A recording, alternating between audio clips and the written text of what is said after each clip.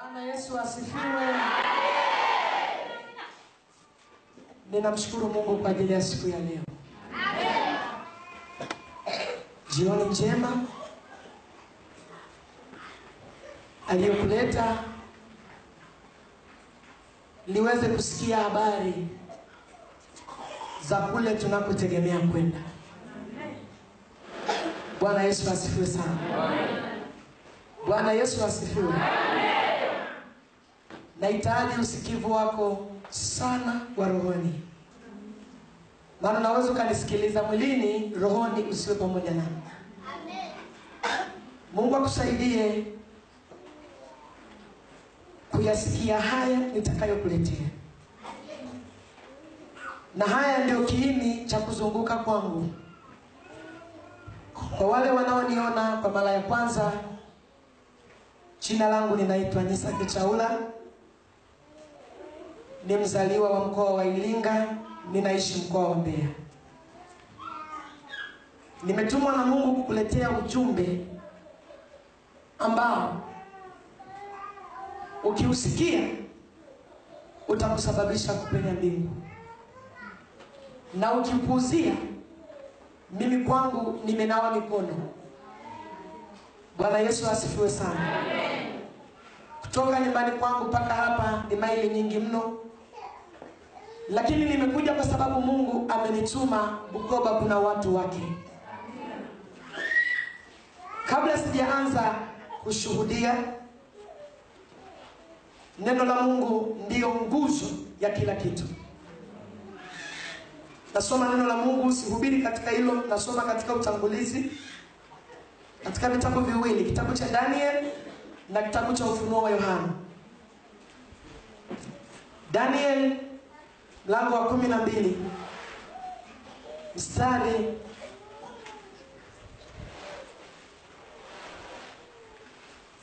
Wa kwanza. Mpaka ule watatu. Wakati huo Mikaeli atasimama jemedari mkuu asimamaye upande wa watu wa Mungu wangu, na kutakuwa na wakati wa taabu, mfano wake haukuwapo tangu lilipoanza kuwapo taifa hata wakati huo huo. Na wakati huo watu wako wataokolewa, kila mmoja atakayeonekana ameandikwa katika kitabu kile. Tena wengi wa hao walalao katika mavumbi ya nchi wataamka, wengine wapate uzima wa milele, wengine aibu na kudhalauliwa milele. Na walio na hekima watang'aa kama mwangaza wa anga, na hawa waongozao wengi kutenda haki watang'aa kama nyota milele na milele. Kitabu cha Ufunuo wa Yohana mlango wa ishirini. Ufunuo wa Yohana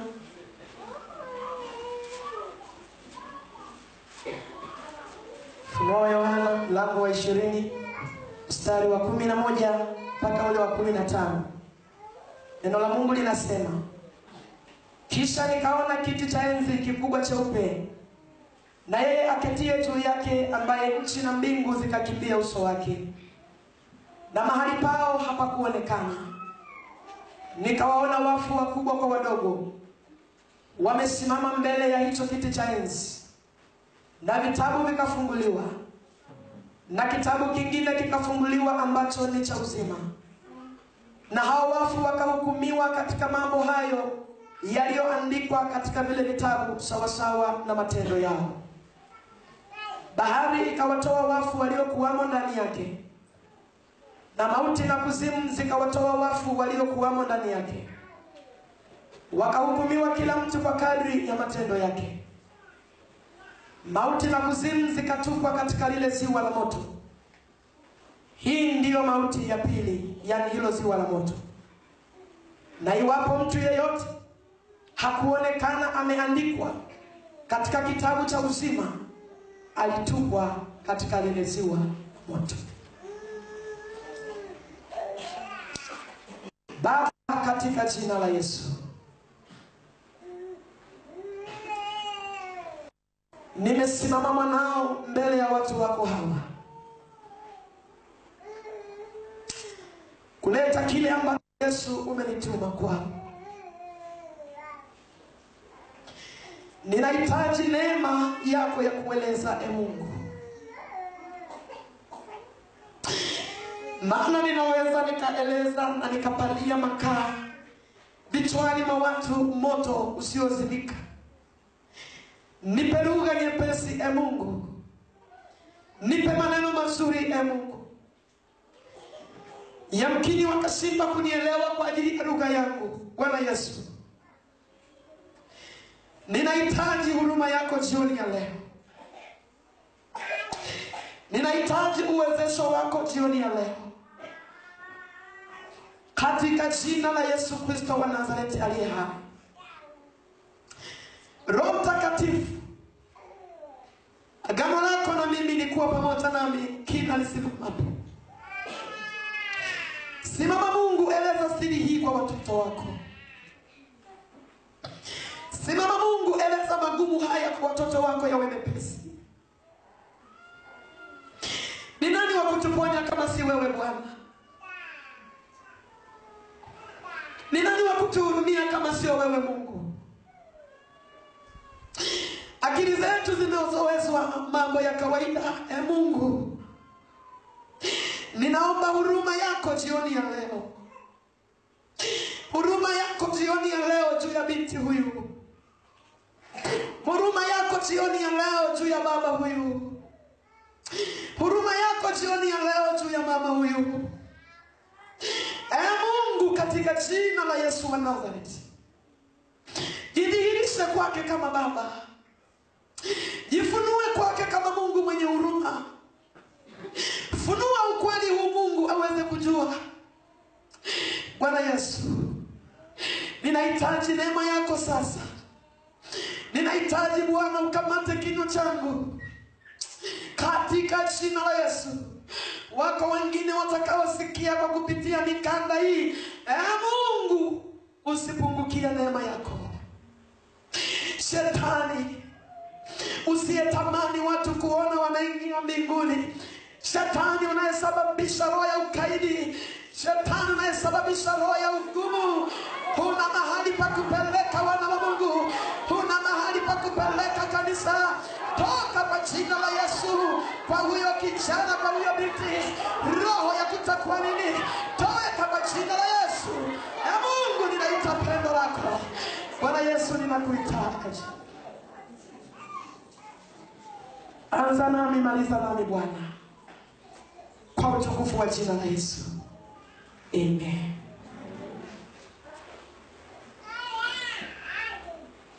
Bwana Yesu asifiwe. Ujumbe huu ninaokuletea si ujumbe wa kusoma kama unavyoweza kuamini, si ujumbe wa kusikia au kuelewa mtu alipokuwa akieleza au kusoma kitabu. Ni ujumbe ambao Mungu alinichukua, nilienda nikaona, na lengo la kunirudisha ili niweze kusema na wewe. Ninajua wengi wamekuwa na kauli nzito ya kuzungumza ya kwamba mambo haya ni magumu. Ni nani aliyeenda akarudi? Ibilisi ametafuta uongo kwa ajili ya kunasa roho za watu wengi, kwamba hakuna aliyeenda akarudi, ili aweze kusema ni nini kilichopo. Mungu ameona usipotee kwa hilo. Mungu alinichukua, ninaisema na wewe. Mungu alinichukua, nikaenda, nimeona, nimerudi.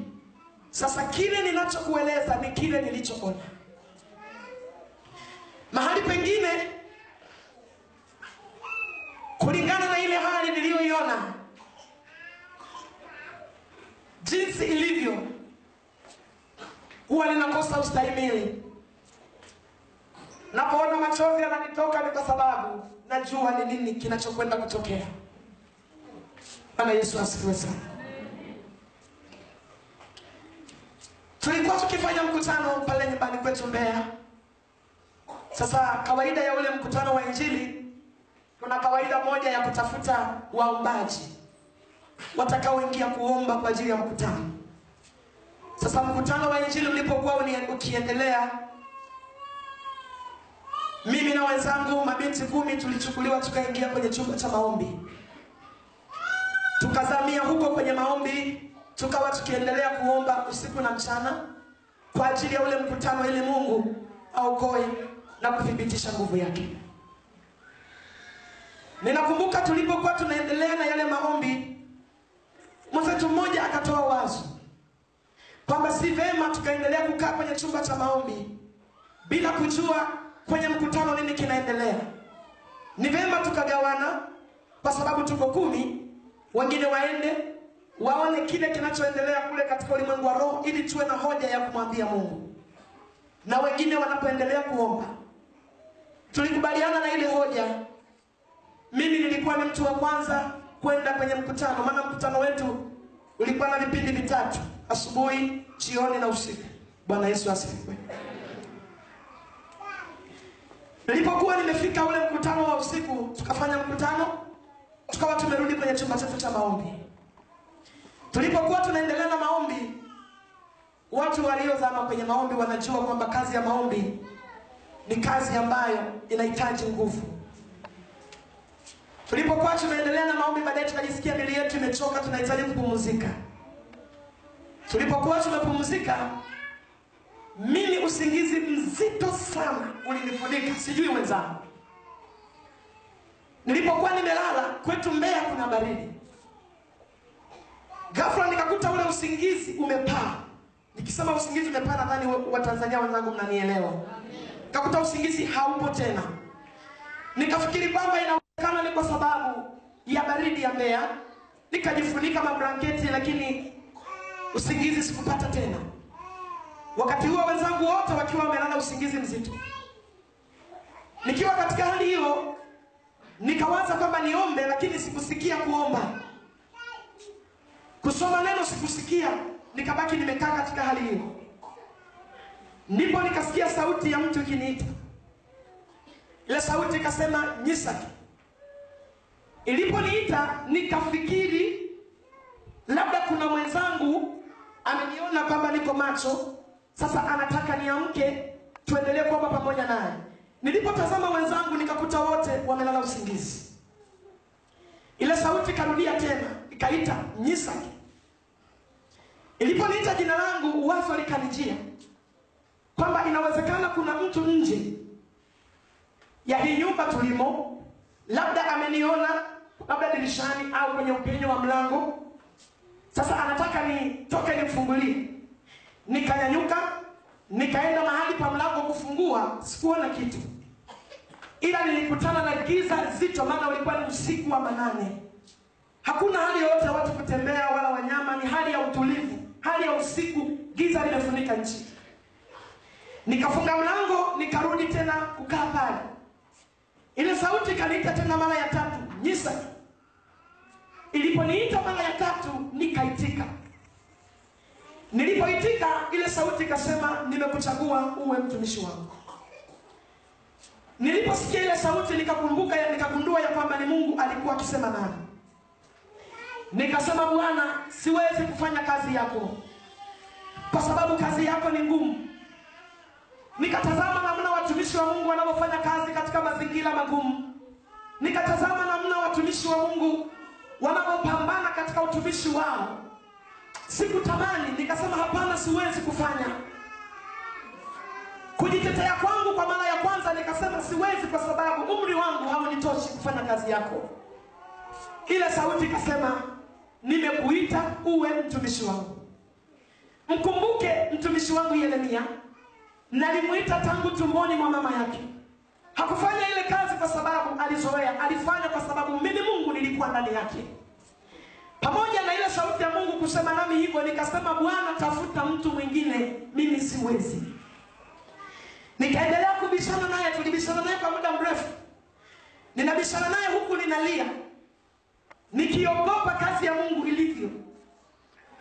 Baadaye zile kelele zikawainua dada mmoja, kumbe akawa nasikia mahojiano yangu na Mungu yaliyokuwa akiendelea, akaniambia Nyisa, ikiwa Mungu amekuita una sababu za kukataa. Basi tukaamka tukaendelea kuomba, ile sauti ikakoma. Tulipoendelea kuomba, basi hatukulala tena mpaka asubuhi kulipopambazuka. Siku iliyofuata tukaamka, tukaoga, tukanywa chai, wakaniambia tena nitaenda kwenye semina ya asubuhi. Bwana Yesu asifiwe sana. Nilipokuwa nikitoka kwenda kwenye semina ya asubuhi, tukamaliza semina kama kawaida, tukawa katika njia ya kurudi. Kumbuka tumewekeana zamu, wengine wanabaki na sisi wengine tunakwenda kule. Sasa tulipokuwa tukitoka, mwenzetu mmoja akatoa wazo, akasema kuna mpendwa mwenzetu anaumwa maeneo yasiyo yasiyo mbali na mahali tulipokuwa kwenye ibada- ibadani, twende tukamtaki hali, ndipo turudi kwenye chumba chetu cha maombi. Ninachokumbuka tulikubaliana, tukafika pale, tukakuta mwenzetu anaendelea vizuri, tukamshukuru Mungu kwa maombi. Baada ya kumshukuru Mungu kwa maombi, ninakumbuka tukaendelea kujifunza juu ya Biblia. Mwenye swali akawa anauliza na mwenye jibu anayeweza kujibu, tukawa tunajibizana namna hiyo. Bwana Yesu asifiwe sana. Tulipofika muda, tukaangalia saa, tukagundua ya kwamba tunahitajika kurudi kwenye chumba cha maombi ili wenzetu waende kwenye mkutano. Tukasema kama tulivyofungua kwa maombi, ndivyo tufunge kwa maombi na kumwacha ndugu yetu mikononi mwa Mungu. Ninakumbuka neno moja, tulikuwa katika hali ya kumwabudu Mungu. Tulimwabudu Mungu, tulimwabudu Mungu sana, na uwepo wa Mungu ulishuka mahali pale, katikati ya hali ya kumwabudu Mungu. Maana ndicho ninachokumbuka kwamba tuliendelea kumwabudu Mungu. Tukiwa bado tunaendelea kufumba na kufumbua, nikajikuta mimi nime, niko katika ulimwengu mwingine, nikiwa na mwili wangu hivi hivi, lakini nikajikuta niko eneo tofauti na maeneo ya nyumbani. Nimetokaje? Sijui nilikuwa nimetoka tokacho. Sasa kwa sababu mimi ndio nilikuwa nikitoka, japokuwa wale wenzangu hali walioiona ni tofauti na mimi niliyokuwa nikiiona. Bwana Yesu asifiwe sana. Nilipokuwa nimetoka yule mwili wa kawaida, nikajikuta niko katika mwili wangu Nyisaki, lakini niko eneo tofauti. Nilipokuwa maeneo yale, nilifika kwenye bonde moja. Lile bonde lililokuwepo lilikuwa ni bonde moja kubwa sana, na lile bonde lilikuwa halina miti, lilikuwa halina nyumba, lilikuwa halina wanyama wala, yani hakuna kitu chochote kitambaacho wala kilukacho, na hali ya hewa ilikuwa tofauti na hali ya hewa iliyoko duniani. Sasa nikaanza kutazama, lilikuwa ni bonde ambalo lina majani mafupi, lakini hali ya hewa ya kule iko tofauti na hali ya hewa iliyoko duniani. Naomba nisikilize. Nilipokuwa niko katika lile eneo, nikawa naanza kujiuliza. Nilikuwa nyumbani pamoja na wenzangu, nyumbani kwenye hali ya hewa inayojulikana, kwenye nyumba, miti, magari, wanyama. Sasa ni nini kimenileta huku? Nimefika mahali hapa? Ni nani aliyenileta hili eneo? Kwani nikajiuliza maswali mengi pasipo kupata majibu, maana kwa wakati huo nilikuwa mimi mwenyewe, mtu kunijibu alikuwa hayupo. Baadaye katika hali ya kujiuliza kama yale maswali, nikakata tamaa, nikasema aliyenileta huku ndiye atakayejua namna ya kunirudisha nyumbani. Nikaamua kukaa chini. Nilipokuwa nimekaa chini kwenye yale majani, nikasikia sauti nyuma yangu ikiniita. Ile sauti ikasema, Nyisaki, inuka nifuate. Nilipogeuka kumtazama aliyekuwa akiniita, nilimwona mtu ana umbo la mwanadamu, lakini sura yake, mtazamo wake si kama mwanadamu aliyeko chini ya jua. Nimeona watu wa mataifa mengi, lakini yule alikuwa hafanani, japokuwa umbo ni kama mwanadamu, lakini mtazamo, sura yake alivyo na rangi yake alivyo, maana yule mtu alikuwa aking'aa kupita jua alikuwa aking'aa kupita jua. Unaweza kustahimili kulitazama jua, lakini sio yule mtu. Halafu alikuwa na nywele zake amezibana nyuma na banio jekundu. Nilipokuwa nikimtazama, alikuwa amevaa basi moja refu jeupe linang'aa, hakuna dobi anayeweza kulifua likang'aa kufika kiasi kile. Nilipoendelea kumtazama alikuwa amefungwa mkanda mpana kiasi hiki kiunoni mwake ule mkanda ulikuwa ni mwekundu. Halafu macho yake yalikuwa ni kama miale ya moto. Sasa ninaendelea kumtazama hakukanyaga chini kama nilivyokanyaga mimi. Alikuwa yuko hewani. Katika kumtazama siku nilivyomuona sikuweza kumuuliza swali kwa wakati huo. Baadaye kwa sababu nimehamuliwa kwamba niinuke nimfuate nikainuka nikaanza kumfuata. Bwana yesu asifiwe sana nilipokuwa ninamfuata yeye ametangulia mimi niko nyuma. Tukafika mahali nikaanza kusikia mungurumo unakuja masikioni mwangu. Kwa mbali nasikia ule mungurumo, na sikuweza kugundua ni mungurumo wa kitu gani. Lakini kadri nilipokuwa ninaendelea kusogea ndivyo ule mungurumo nilivyokuwa nazidi kuusogea unazidi ku, kuja kwa kasi masikioni mwangu. Bwana yesu asifiwe sana sikuweza kuuliza habari ya ule mungurumo tu. Bali nikaendelea naye na safari. Kufika mbele nikatazama kule tunakoelekea. Nikakuta kumefunikwa giza zito ajabu. Na huo mungurumo unazidi kwa kasi. Ndipo nikaona shauku ya kumuuliza yule mtu. Nikasema samahani ninaomba niulize. Akasema uliza nikasema lile giza ninaloliona na huo mungurumo ninaovisikia vinasababishwa na kitu gani kwamba vitokee akaniambia nisa lile unaloliona sio giza ila kile unachokiona ni moshi. Akaniambia huo mungurumo unaosikia na huo moshi unaoona vinatoka sehemu ya jehanamu. Watakapokwenda kutupwa wanadamu waliokufa katika dhambi baada ya dunia kukunjwa kama karatasi. Niliposikia neno jehanamu na tunaelekea huko unajua mimi binafsi nimeelewa kwenye nyumba ya kikristo. Nimesikia tangu mtoto wangu habari ya moto. Nimesikia tangu mtoto wangu habari ya jehanamu lakini na kuhakikishia nilikuwa siamini kama kweli jehanamu ipo. Nilikuwa na waza kwamba bibilia inasema mungu ni mwenye huruma. Atawezaje kuchoma watu aliyowafanya na ulimwengu watu ni wangapi? Nikichukua tanzania nichukue bara la afrika nichukue mabara yote je mungu atawezaje kuangamiza hawa watu aliyowafanya mwenyewe na kwa ukubwa wa moto kiasi gani? Ndicho kitu kilichokuwa kimenijenga kabla ya kwenda kuona hiyo jehanamu. Na haya mawazo ndiyo yaliyofunika dunia ya leo. Kuna watu hawaamini ya kwamba jehanamu ipo. Nilikuwa nikiamini kwamba wazungu waliokuwa wakiandika bibilia walisema moto ili watu waogope kutenda dhambi ndivyo nilivyokuwa nikiamini kwamba si kitu halisi ila wameweka kwamba wakisema kuna moto watu waogope. Ndugu yangu naomba unisikilize.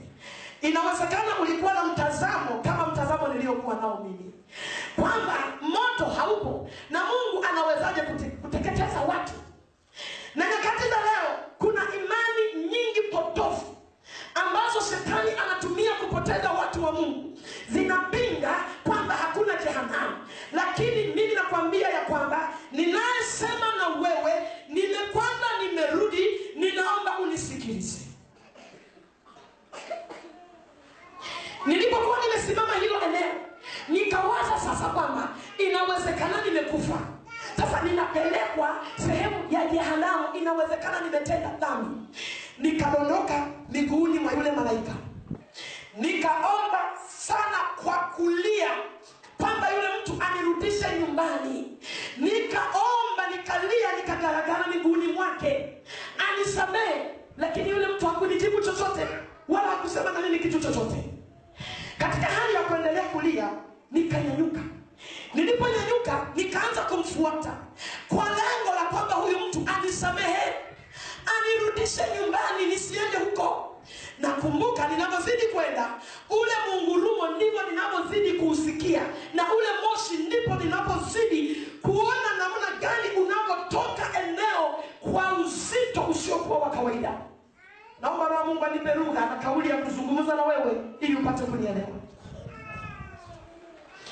Nilipokuwa ninamfuata yule malaika kufika eneo fulani, nikasimama hapo, akili zangu ziligoma hapo, ufahamu wangu ulinyamaza hapo. Ufahamu hata ungelikuwa ni wewe, ufahamu wa mwanadamu ungeliweza kunyamaza.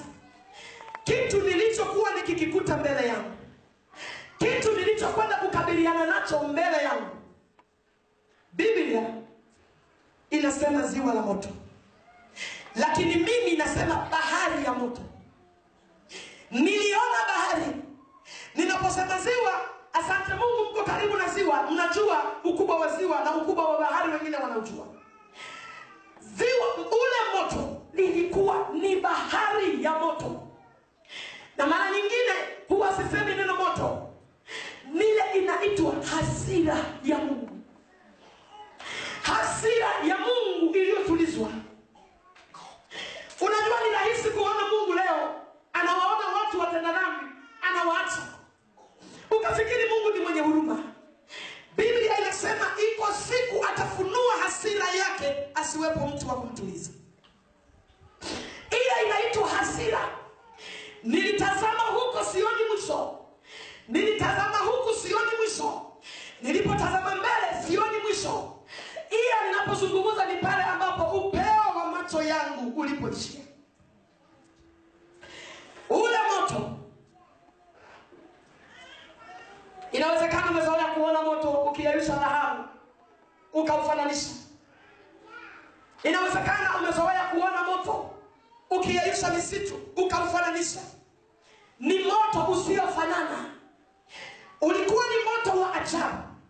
Ule moto ulikuwa unalipuka mlipuko wa hali ya juu usiokuwa wa kawaida. Ulikuwa ukilipuka unapanda juu, unakwenda kutengeneza milima kama mawimbi makubwa, kama milima. Lile wimbi linajiviringisha, linakwenda kujitupa upande wa pili. Litakapokwenda kujitupa huo upande, munguruma utakaotokea hapo, mwanadamu huwezi kusimama mbele ya hasira ya Mungu. Na hayo mawimbi halitokei wimbi moja kama kawaida ya ziwa mnavyoweza kuona mawimbi, linainuka mlima pale, unainuka mlima, milima ya moto, na unapojiviringisha na kwenda kujitupa eneo jingine, nikakuta mwili wangu na viungo vyangu vyote havina nguvu, na ule moto ulikuwa hauna rangi kamili. Mara nyingine ulikuwa ni mweusi sana kupita rangi, mara nyingine ni mwekundu sana kupita rangi nyekundu, nani ni mwekundu umepita. Mara nyingine zile rangi zinajichanganya.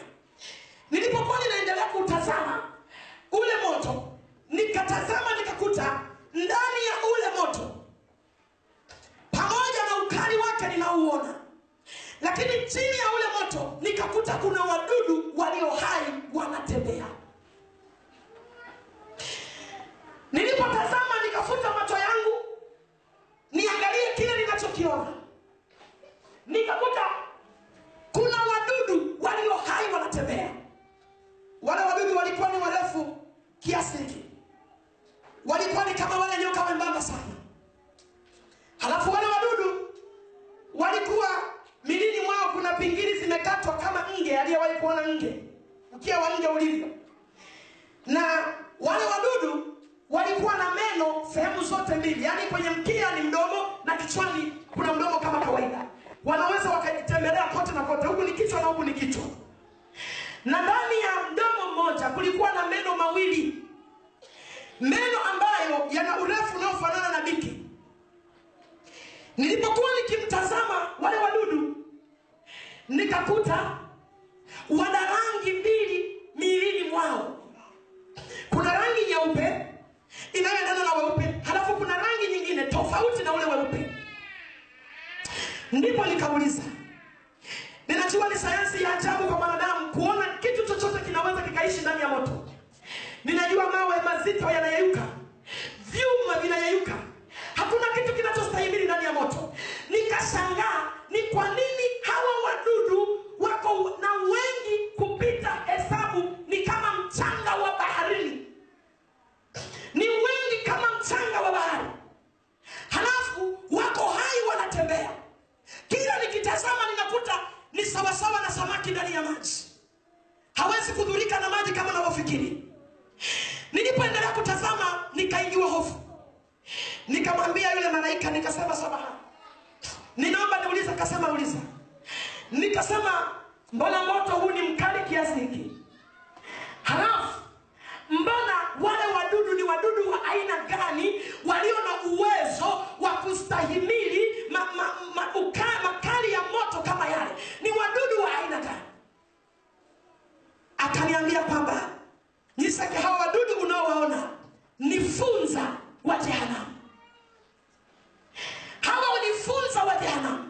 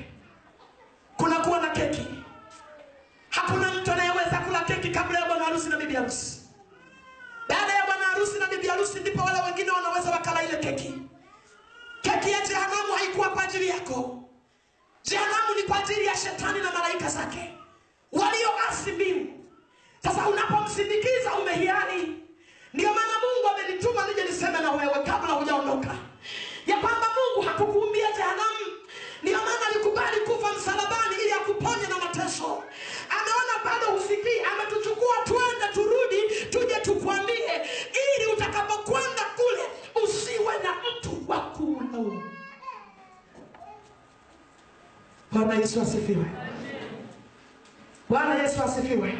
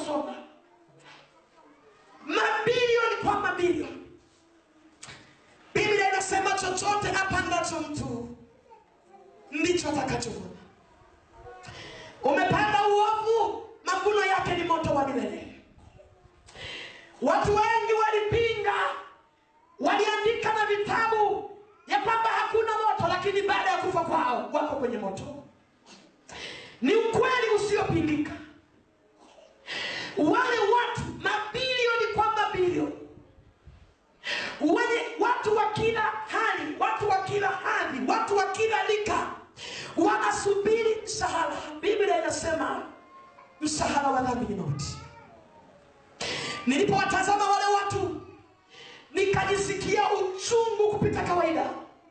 Nikalia wale watu hakuna mweupe hata mmoja. Watu wote ni weusi kupita masizi hakuna mtu aliye mweupe wala maji ya kunde hayupo mwenye uafadhali. Watu wote wamekuwa ni weusi mno kupita na lile sehemu kuna baridi. Baridi ya ajabu iliyofunika hilo eneo. Na nilipotazama lile eneo hakuna maji hakuna hali yoyote ya kijani kibichi. Ni hali ambayo haina matumaini. Nilipotazama nikakuta lile eneo. Wale watu walilopo lile eneo nilikwambia kwamba hakuna maji. Halafu hakuna hali yoyote ya kijani kibichi ni sehemu ambayo ni kama jangwa. Huwa ninasema siku zote. Unapoona hali ya kijani kibichi hii jua neema ya mungu bado haijaondolewa kwetu. Huruma ya mungu bado iko kwetu. Wale watu nikakuta kila mmoja ulimi wake umevutwa unafika karibu na kifua chake. Awe mrefu awe mfupi. Ulimi wake umevutwa unafika kifuani pake ndipo nilipowatazama wale watu nikamuuliza bila malaika. Nikasema samani naomba niulize. Akasema uliza. Nikasema hawa watu kwa nini ndimi zao zimevutwa namna hii? Ni kwa nini ndimi zao zipo katika hali hiyo? Na hakuna unayemuona akiwa katika hali ya amani. Ndugu zangu ndugu zangu ni kweli utafurahi dakika moja ukiwa kwenye uzinzi. Utafurahi dakika moja ukiwa kwenye ulevi. Utafurahi dakika moja ukiwa kwenye uongo. Utafurahi dakika moja ukiwa kwenye hali ya dunia. Lakini kumbuka anasa ya dunia ya muda mfupi ikusababishia mateso ya milele yasiyokoma. Mateso ya milele yasiyo na mwisho. Neno milele maana mwisho. Kwa ajili ya uzinzi kwa ajili ya uongo tu ukaingia kwenye mateso kama yale. Ninaamini ile sehemu angepita mtu akahubiri na biblia tu asingekuwepo hata mmoja ambaye angekataa kuokoka. Wote wangelisema tunakubali kuokoka. Lakini wanawezaje kupona neema ya mungu imefungwa neema ya mungu imekamatwa ni mlango ambao ukifunguliwa mara moja hauwezi kufunguliwa tena. Bwana yesu asifiwe sana. Nikamuuliza yule malaika kwa nini hao watu ndimi zimevutwa namna hii? Akaniambia kwamba unavyoiona hii eneo hakuna maji hakuna hali yoyote inayoweza kusababisha hawa watu wakanywa maji. Na kiu walio nayo ni kiu ya adhabu. Ni kiu sio kiu sawasawa na mlionayo duniani.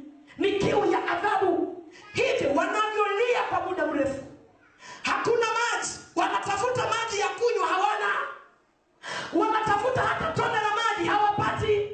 Wanapolia kwa muda mrefu, linapokuja kudondoka tone moja la chozi, wanazisogeza zile ndili wanaramba machozi yao, ndiyo maji yao milele na milele. Kumbuka, waliingiza mabomba nyumbani mwao kuepuka ada ya maji kumbuka ni watu ambao walijipenda kwenye maisha yao lakini kwa kuto kutii wanalamba tone moja la chozi ndiyo maji yao. Bwana yesu asifiwe sana. Nikawa nimesimama hilo eneo. Akaniuliza hawa watu nawafahamu nikasema siwafahamu.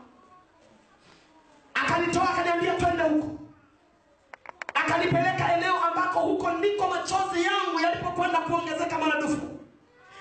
Huko nilikwenda kuwakuta ndugu zangu wa damu. Huko nilikwenda kuwakuta watu ninaowafahamu.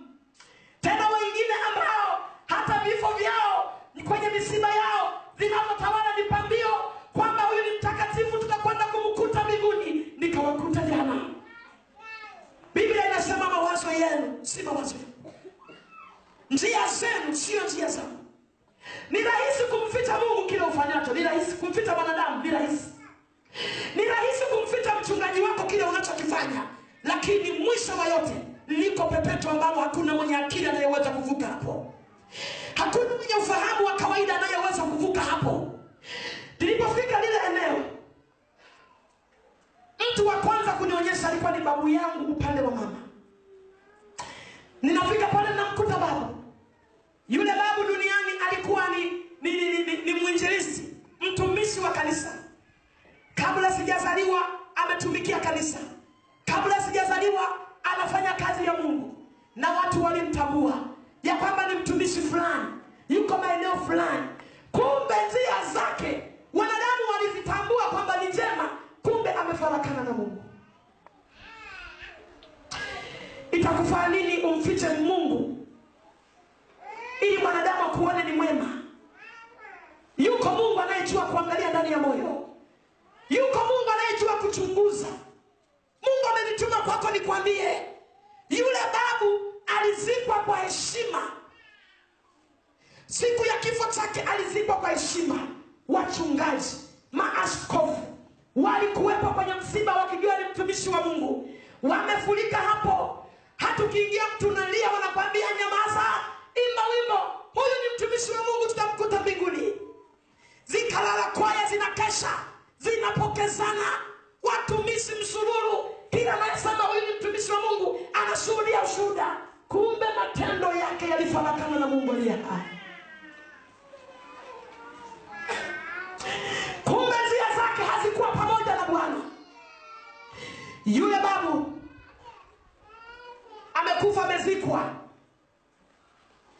kumbe yuko kwenye mangojeo ya jehana nikashangaa ninamwona babu yangu duniani alikuwa ni mweupe. Amebadilika amekuwa ni mweusi kupita makaa. Nilipomtazama nikashituka sikutegemea ya kwamba nitamkuta maeneo yale. Sikujua ya kwamba nitamkuta maeneo yale. Kwa jinsi historia yake ilivyokuwa sikutegemea. Nikakatika machozi yakakatika babu aliponitazama alilia kwa uchungu mno. Alilia kwa uchungu kupita kawaida. Nikamgeukia yule malaika nikamwambia mbona huyu alivyokuwa duniani? Alikuwa ni mtumishi wako. Na siku zote ameishi maisha ya kukuogopa ya kumwogopa mungu. Ndivyo tulivyojua kama wanadamu. Kwa nini namkuta huku? Wakati tunaambiwa kwamba watumishi wa mungu sehemu yao ni kwenye uzima wa milele. Akaniambia kwamba ni kweli. Alichaguliwa kwa kazi ya mungu. Lakini yeye alijua kwamba ile kazi tofauti mungu alipokuwa akimtazama aliona kwamba amemwita amtumikie. Lakini yeye akageuza utumishi ule akauweka kuwa ni kazi ya kawaida. Hivyo aliongoza wengine wamuone mungu yeye mwenyewe hakutaka kumuona mungu. Alikuwa tayari kuwahubiri wengine ubovu wa dhambi lakini yeye mwenyewe dhambi zikawa zimemkalia.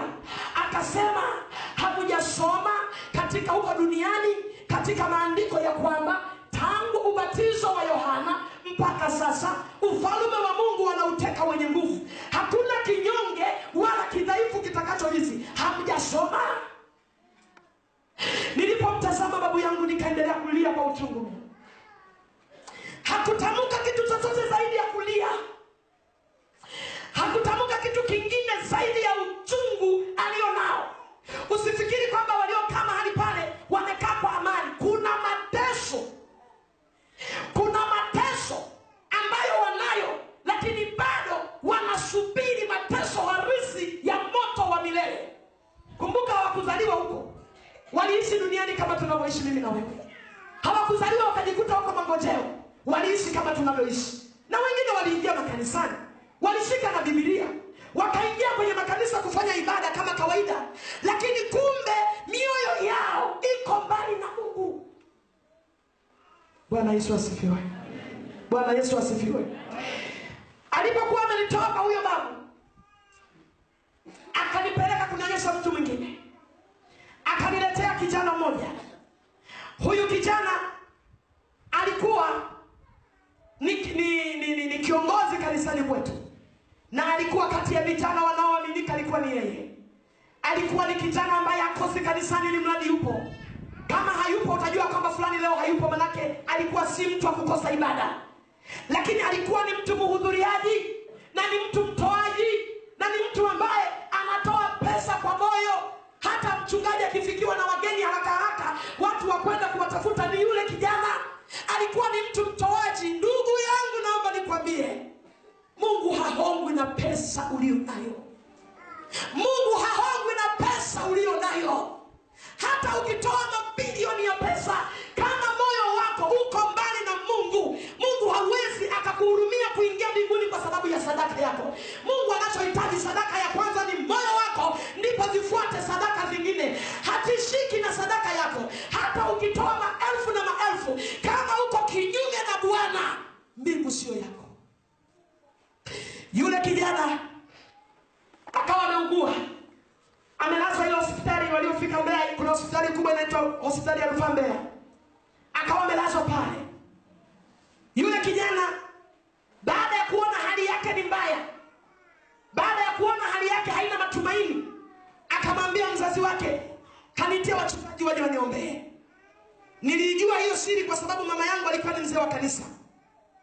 Ni mzee wa kanisa, yeye ndiye aliyeletewa taarifa na ndiye aliyepeleka kwa mchungaji kwamba yule kijana anahitaji twende tukamwombee. Kweli walienda wakamwombea, alikaa siku mbili akafa. Kufa kwake watu wengi walisema huyu kijana ana bahati, huyu kijana kati ya watu wenye bahati ana bahati. Ni juzi tu amewaita wachungaji, leo hii anakufa. Watu walisema, hata mimi mwenyewe nilisema ana bahati ya kumwona Mungu. Sikiliza mpendwa, Mungu hayuko kama mwanadamu ulivyo. Watu wengi wamejifariji katika hayo. Hata watu wengine wazazi wameona wa- ndugu zao ni wagonjwa. Hapo mwanzo walimkataa Yesu, bado ni wagonjwa, wanaendelea kumkataa Yesu. Wanasema tuite wachungaji waje wakuombee uzikwe Kikristo. Haina maana kuzikwa Kikristo. Hatukizikwa mahali hapo kama sio Mkristo, mbingu sio ya kwako. Hatukizikwa na maaskofu wakajaa, kama Mungu amekukataa, hawana nafasi ya kukufungulia uzima wa milele. Yule kijana amekufa, nikashangaa ninakwenda kumkuta sehemu ya magojeo, anasubiri mshahara wake wa kwenda ziwa la moto. Nikamgeukia yule malaika nikauliza, nikasema, mbona huyo alivyokuwa duniani aliwaita wachungaji na wachungaji walienda wakamwombea? Mbona watu wengi wanasema ya kwamba mtu yeyote aliyeombewa karibu na kufa ana sehemu nzuri ya kuingia mbinguni? Mbona huyu ninamkuta huku? Yule malaika akaniambia, Nyisaki, nenda kawaambie ndugu zako duniani. Akarudia tena akasema, nenda kawaambie ndugu zako duniani. Mtu yeyote aliyejua kwamba Mungu ni mtakatifu hachangamani na dhambi, amejua kwamba ukitenda dhambi sehemu yako ni kwenye moto wa milele. Mtu yeyote aliyegundua ya kwamba ukitenda dhambi umefarakana na Mungu amegundua hilo, lakini kwa ajili ya uzuri wa dunia, kwa ajili ya tamaa za ulimwengu, akasema nitaendelea kufanya dhambi, siwezi nikaacha uzinzi, siwezi. Mimi ni kijana mzuri, mimi ni binti mzuri, pesa yangu inaniruhusu, siwezi kuacha dhambi. Nikiona nimekaribia kufa, ndipo nitakapomwita mchungaji aniombee. Akasema kwangu simpokei, jinsi ninyi msivyopokea vitu vilivyooza, ndivyo na mimi sivipokei. Japokuwa ninamtoa duniani, lakini sehemu yake ni mangojeo ya milele na kwenda jehanamu ya moto. Biblia inasema mpende Bwana Mungu wako kwa nguvu zako zote. Ukiwa hai hutamani kumtumikia Mungu. Eti kwa sababu pesa unazo. Unapoona unakaribia kufa unasema nitafutieni mchungaji. Wewe kwa sababu unaogopa kwenda jehanamu. Ni lazima utakwenda kwa sababu haukumuweka. Nafasi ya yesu haikuwemo ndani yako hukupenda kumtii yesu ukiwa hai na nguvu zako zote. Umetumikia kwa shetani kwa sababu sasa umebanwa kwenye kona. Hata ukisema ulewe ulevi haushuki ukisema uende kwa wanawake hawezi wakakupenda tena. Unasema kifo kimenikaribia nitafute toba. Iko shida. Mpende yesu ukiwa bado na nguvu zako. Mtumikie yesu ukiwa bado na ujana wako. Mtumikie yesu ukiwa bado na nguvu zako. Bwana yesu asifiwe sana yule kijana akiwa katika hali ya maumivu na mateso akanyanyua kinywa chake akasema Isaki, ninakuomba. Anapozungumza sauti yake ni kama si kama sauti ya mwanadamu ni kama sauti ya mnyama fulani inakoloma huko ndani. Sauti haina mwelekeo wa kibinadamu. Anapiga kelele fulani ambayo sio sauti nashindwa niielezeje lakini haipo katika mfumo mzuri wa sauti ya mwanadamu. Akaniambia nyisaki ninaomba kamwambie baba kamwambie mama na ndugu zangu. Yeye alikuwa ni mzaliwa wa kwanza kwenye hiyo familia.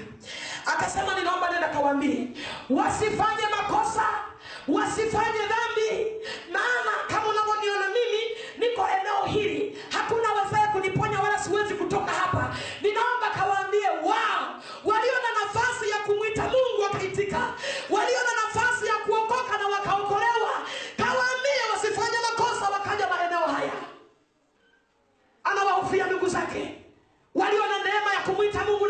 na kwao.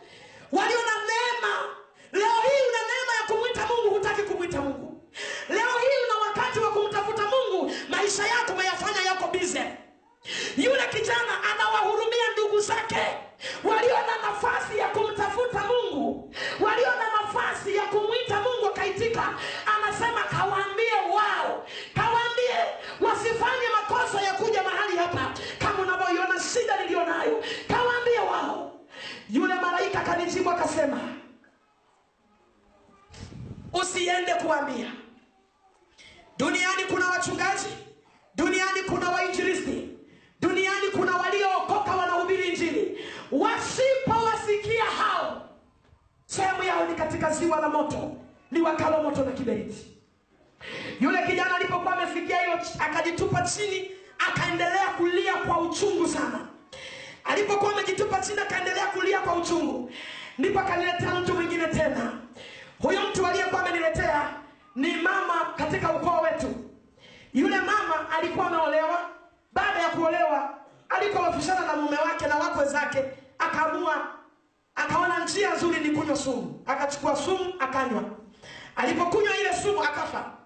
Mumewe naye pepo likapita tena roho ya mauti wakiwa msibani naye akaamua kuchukua sumu naye anywe. Lakini alipokunywa yeye walimgundua akiwa bado hajafa. Lakini sumu ilikuwa imekaa ndani ya mwili wake kwa muda. Sasa wanamgundua wakaamua kumkimbiza hospitali. Walioanza na mimi kumbuka nasema tulikuwa tukienda kumwona ndugu yetu aliyekuwa anaumwa. Tulipokuwa tukienda kule tulipishana na gari wanasema hilo gari limempakia mtu fulani anapelekwa hospitali amekunywa sumu na yeye lakini bado hajafa yuko hai ila hali yake ni mahututi.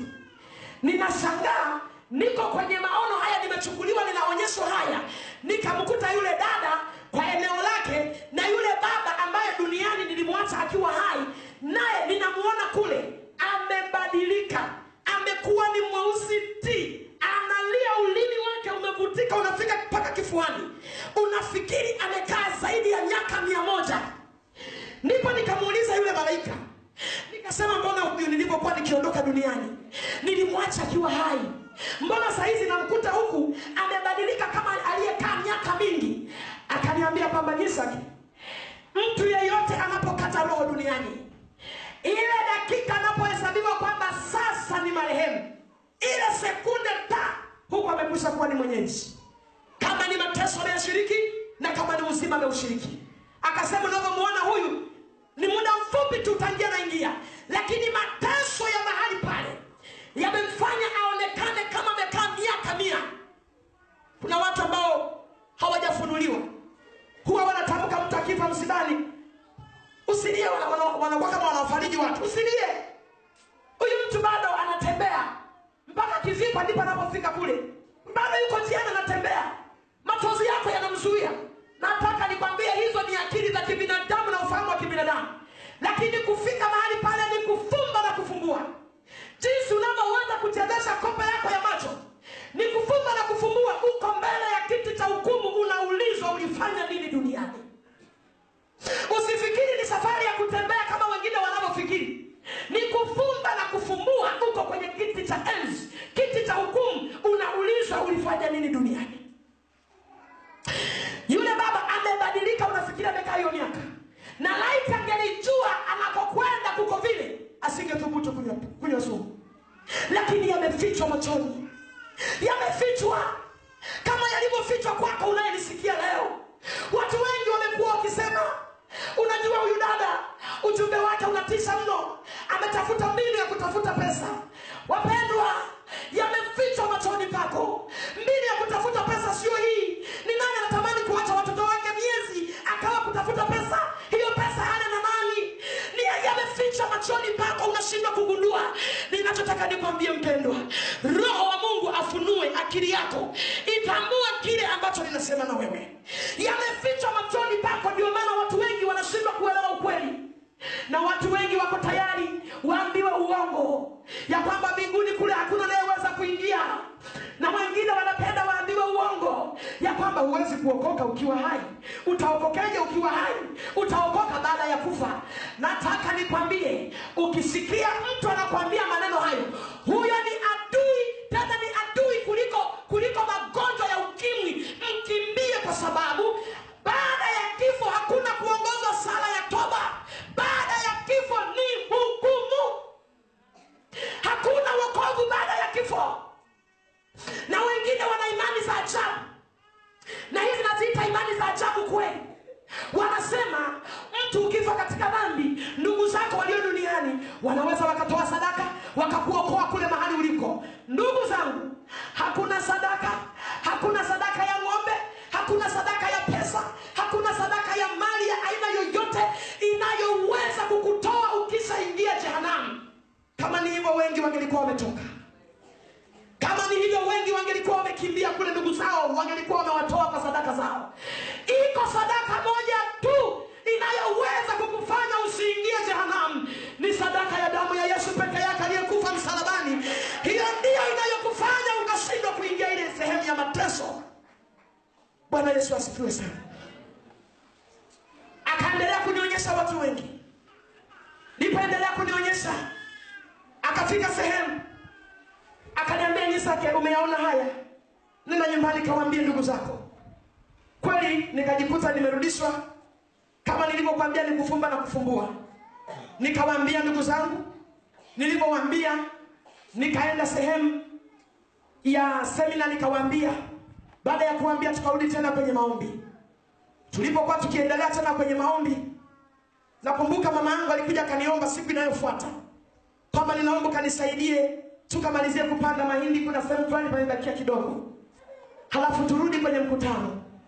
Naye pia alikuwa ameokoka japokuwa kwa sasa amelala. Ninajua iko siku nitakutana naye.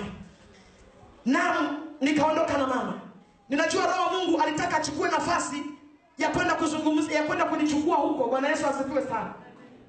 Nilipokuwa nimeondoka tukafika eneo la shamba tembea njiani namsimulia mama ndugu zake majirani nilivyowaona katika eneo lile kufika shambani nakumbuka nilishika jembe. Maana eneo halikuwa kubwa lilikuwa ni dogo tu. Basi nakumbuka mimi nikawa nachimba yale mashimo ya kupanda mahindi. Nikachimba shimo la kwanza vizuri shimo la pili vizuri. Ila ninainua jembe nichimbe shimo la tatu. Kuna hali fulani ambayo ilipita kama umeme mwilini mwangu. Ghafla hali ya mabadiliko ikaingia. Halafu nikamwambia mama nimejisikia vibaya ghafla. Akaniambia "Ah, ah, endelea kulima. Saizi ni saa tatu asubuhi. Watu wakiona unarudi nyumbani saa hizi watafikiri ni mvivu. Tumalizie hapa tukawahi ibada ya mkutano jioni. Kweli sikupenda kubishana na mama. Ninachokumbuka nilinyanyua jembe ili niendelee kuchimba. Lakini katika hali ile ya kunyanyua jembe ili niendelee kuchimba yale mashimo na mama endelee kufukia nikiwa nimenyanyua hili jembe nikajikuta nimechukuliwa niko eneo jingine tofauti nikajikuta niko kwenye bonde fulani. Hili bonde ni tofauti na mabonde lile la jana au ni tofauti na mabonde yaliyoko duniani. Hili bonde la mara ya pili lilikuwa ni bonde moja kubwa sana. Majani yake mazuri japokuwa kulikuwa hakuna nyumba hakuna miti hakuna wanyama wala ndege. Lakini hali ya hewa ya ile eneo ilinivutia. Nikaipenda nikasema hivi yule malaika wa jana asipokuja kunichukua leo nitajikalia eneo hili hili nimelipenda. Jinsi hali ya hewa ilivyokuwa nzuri imetulia kuzuri ajabu. Nikaamua kukaa chini. Ila nilipokuwa nikikaa chini nikasikia mtu akiniita nyuma yangu. Akaniambia nisake inuka tufuate. Nilipoinuka nikakutana nilipogeuka nikakuta malaika wawili. Malaika wa kwanza ameshika upanga unaozunguka kama moto. Na wa pili ameshika karatasi amelikunja. Karatasi ile inaonekana ni kubwa kidogo. Amelikunja namna hii kwa urefu amelishika mkononi. Kwa hiyo hata akiwa mbali unajua yule mtu ameshika karatasi. Basi wakawa wamekuja kulichukua, wote wana hali moja ya kufanana. Waliponiambia tufuate nikaanza kuwafuata wao wametangulia mimi nawafuata nyuma. Baadaye akili kanijia hawa wanifahamu mimi ni nyisa mbona mimi siwafahamu? Nikasema samani naomba niwaulize majina yenu ni akina nani? Aliyekuwa ameshika upanga akasema mimi naitwa mikaeli. Na aliyekuwa ameshika karatasi akasema mimi naitwa gabriel. Kwa hiyo nikawa najua huyu ni mikaeli na huyu ni gabriel. Tukaendelea kutembea. Lakini katika tembea ile wakawa wao wanazungumza lugha ambayo mimi siifahamu tumetembea kufika mbele nikatazama mbele tunakokwenda, nikaona kuna mwanga mzuri ajabu unachipua eneo lile. Mwanga mzuri uliotulia haufananishwi na mwanga wa jua wala mwanga wa taa za umeme. Ni mwanga wa kipekee. Basi nikasema naomba niulize kule tunakokwenda kuna mwanga? Ule mwanga ni kitu gani Una ni kitu gani kinasababisha ule mwanga utokee akaniambia unakotoka ule mwanga unatoka kwenye mji wa yerusalemu watakapokwenda kupumuzika watakatifu baada ya tabu nyingi duniani. Bwana yesu asifiwe sana. Moyoni mwangu nikajenga ajenda. Nikikuta nimeingia tu sitakubali kurudi. Nitakaa humo humo siwezi kukubali kurudi. Lakini yalikuwa ni mawazo ya kibinadamu mara kwenda kwangu hakukuwa ni kwa sababu nimemaliza kazi ila ni kwa sababu nilikuwa ninapewa kazi ya kuzungumza na wewe. Bwana yesu asifiwe sana. Tulipokuwa tumeendelea kutembea kufika mbele nikakuta lango moja. Lile lango ni lango la ajabu. Lile lango mwanzo wake na mwisho wake hulioni.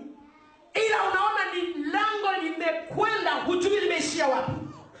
Na lile lango ni lango ambalo halijatengenezwa kwa mbao wala kwa vyuma. Kitu kilichotengeneza lile lango limetengeneza kwa vito vya thamani peke yake. Na vile vito vya thamani vilikuwa vikibadili kila aina za rangi. Unajua baada ya kurudi nikamkumbuka yule mwimba tenzi aliyesema liko lango moja wazi.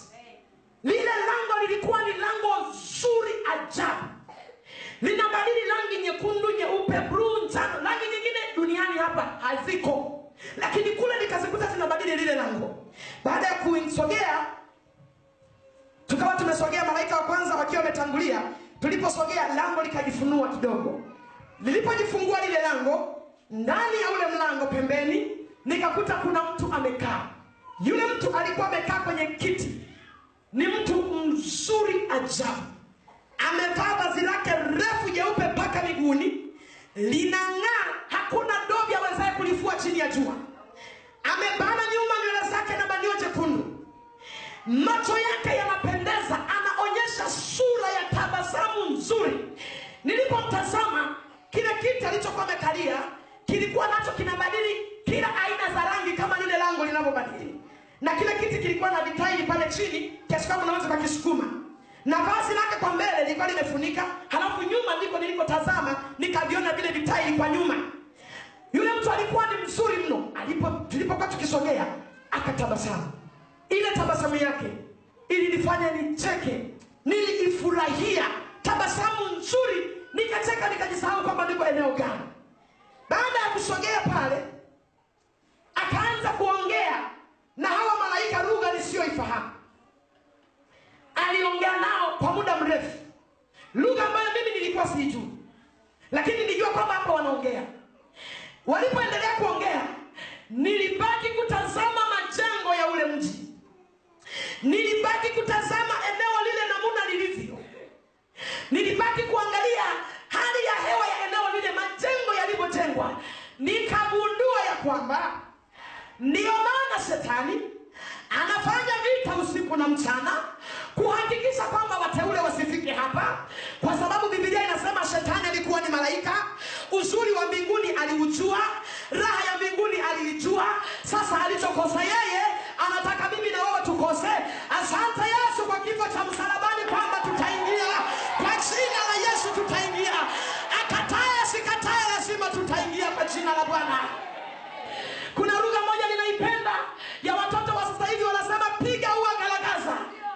lazima nikafike kwa jina la Bwana.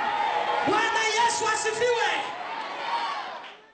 Nikamundua shetani kwamba ndio maana anafoka mtu akijaribu kuokoka majaribu ya hapo na hapo ili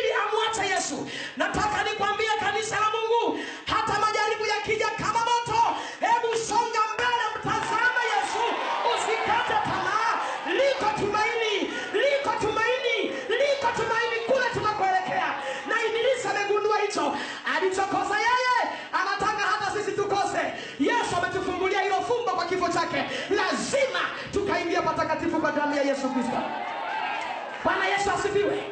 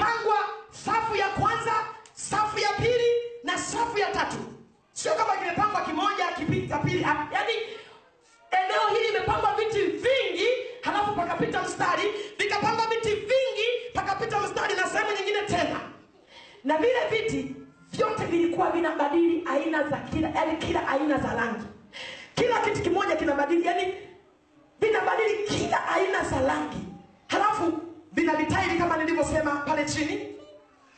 Halafu nikashangaa kuona nyuma ya kila kiti kuna herufi moja tu ya jina. Kama ni aa kama ni bb kama c kama d kama kila kiti kina herufi yake. Na herufi zile zimeandikwa kama mtu ameandikia rangi nyekundu au damu mbichi ambayo haijakauka. Vimeandikiwa zile herufi. Sasa kila kiti kina herufi yake. Mtu mmoja aliniuliza sasa mbona wakina a tuko wengi? Wakina b tuko wengi tutajueje? Akili ya mungu haisi kama akili ya mwanadamu na akili ya mungu haichunguziki. Yeye ni mungu. Mpaka kakufanya wewe ulivyo ujue yuko zaidi yako wewe. Bwana yesu asifiwe sana. Mpaka kakufanya ulivyo akafanya na mwanadamu atengeneze vitu vya ajabu ujue yeye ni zaidi yako. Ninampenda sana yesu bwana yesu asifiwe sana. Bwana yesu asifiwe. Nilipokuwa nikitazama vile viti mle ndani nilikuta pia kuna mwanga mzuri sana. Lakini sikuona balbu ya umeme sikuona taa sikuona kitu chochote kinachosababisha ule mwanga. Lakini ni mwanga mzuri mno. Nikauliza humu ndani mwanga kuna mwanga? Sioni taa. Akaniambia kwamba taa ya mji huu ni mwanakondoo uliyemkuta mlangoni. Bwana yesu asifiwe sana. Nikabaki nimesimama ile eneo. Nika akaanza kunitembeza kwenye vile viti. Alinitembeza kama tungelikuwa tunatembea kwa hatua hizi za duniani. Mpaka leo ningekuwa bado niko eneo lile lile la viti vingi na bado sijamaliza. Lakini tulitumia roho ya wepesi. Tulikwenda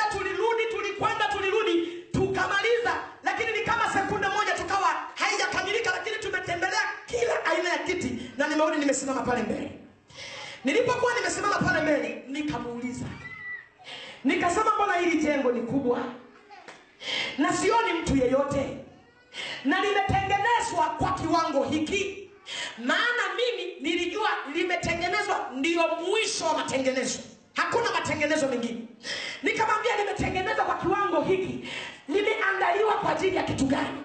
Yule malaika akaniambia kwamba nyisaki mahali hapo unapopaona pameandaliwa na bado panaendelea kuandaliwa. Hapajafikia levo inayostahili kuwepo mahali hapa. Bado panaendelea kutengenezwa.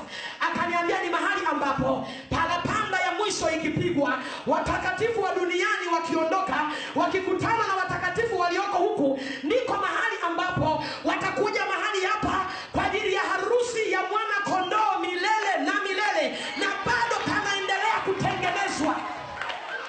ndipo karamu ya mwana kondoo itakapofanyika mahali hapa, lakini bado hapajafikia kama ile sifa inayotakiwa pawe, japokuwa mimi niliona ni mwisho wa mambo yote. Bwana Yesu asifiwe sana.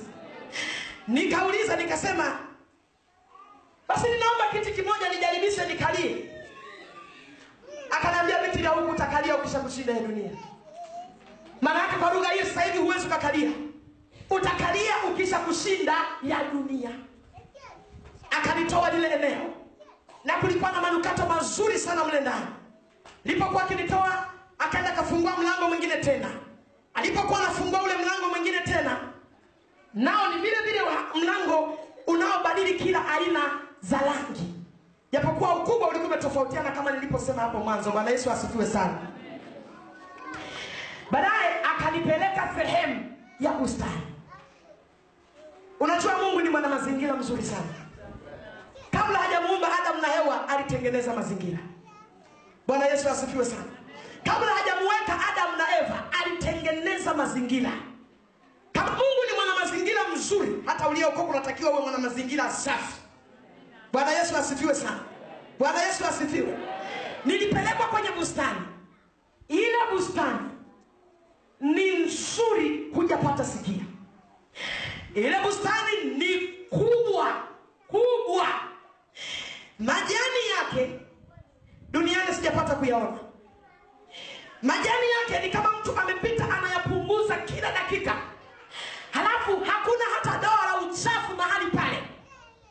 Halafu nilipokuwa nikitazama pembeni mule yalimoishia majani kwa mbali kule, kukawa kumezungushwa maua yamepandwa. Yale maua yalikuwa yanizidi mimi urefu na yalikuwa yametanua.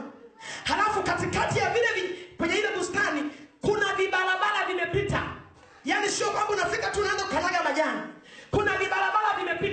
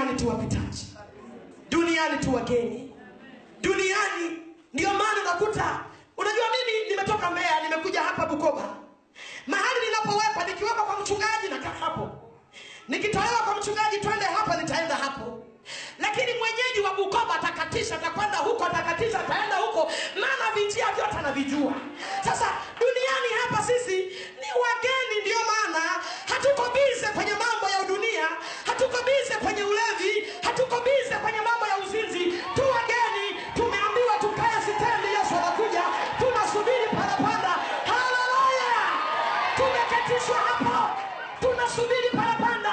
Ukisema kwenye uzinzi hatumo. Ukisema kwenye ulevi hatumo. Tunasubiri parapanda.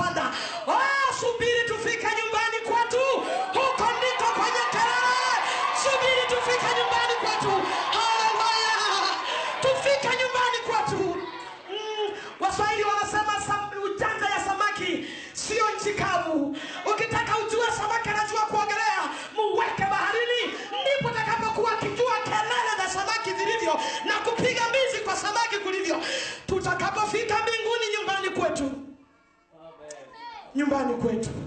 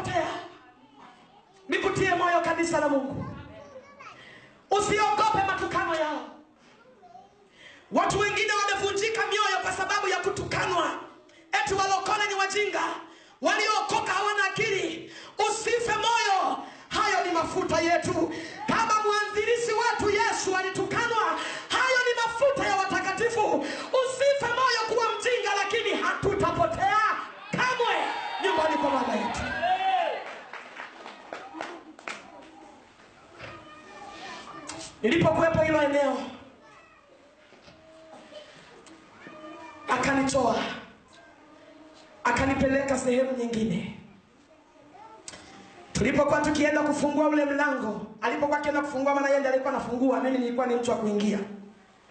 Ndipo pale na kufungua ule mlango, kabla hatujafika eneo la kufungua la mlango ulipo, nikasikia sauti za watakatifu, sauti za watu waliotoka kwenye dunia ya dhambi, sauti za watu waliotoka kwenye ulimwengu wa mateso zikimsifu Mungu. Alipofungua ule mlango,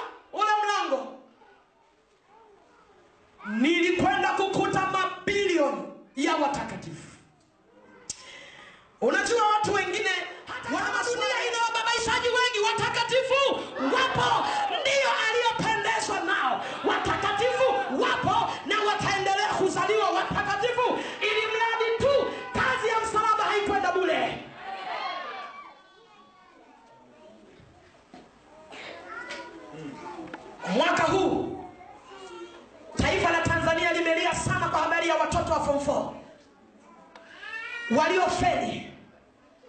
Asilimia sitini kuzalisha zilo si kitu kidogo, lakini pamoja na kwamba taifa limezalisha zilo nyingi, lakini bado wani zipo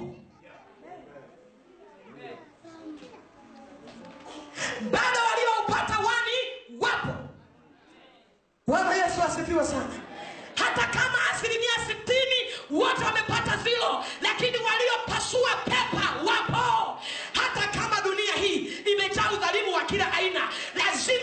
Tupasue mbingu kwa damu ya Yesu, lazima tupaingie patakatifu kwa jina la Yesu, lazima iwe isiwe, lazima tukapenya ile mbingu kwa jina la Yesu. Siku zote unapoona original ipo, hata feki ipo. Bwana Yesu asifiwe. Haleluya. Usiseme feki imeenea, original haipo. Ipo tena pure, ambayo Mungu anaitafuta, ambayo Mungu anaitegemea. Sikiliza nikwambie kitu kimoja, mtakatifu, usivunjike moyo, usivunjike kulingana na hayo unayoyapitia kwa jina la Bwana.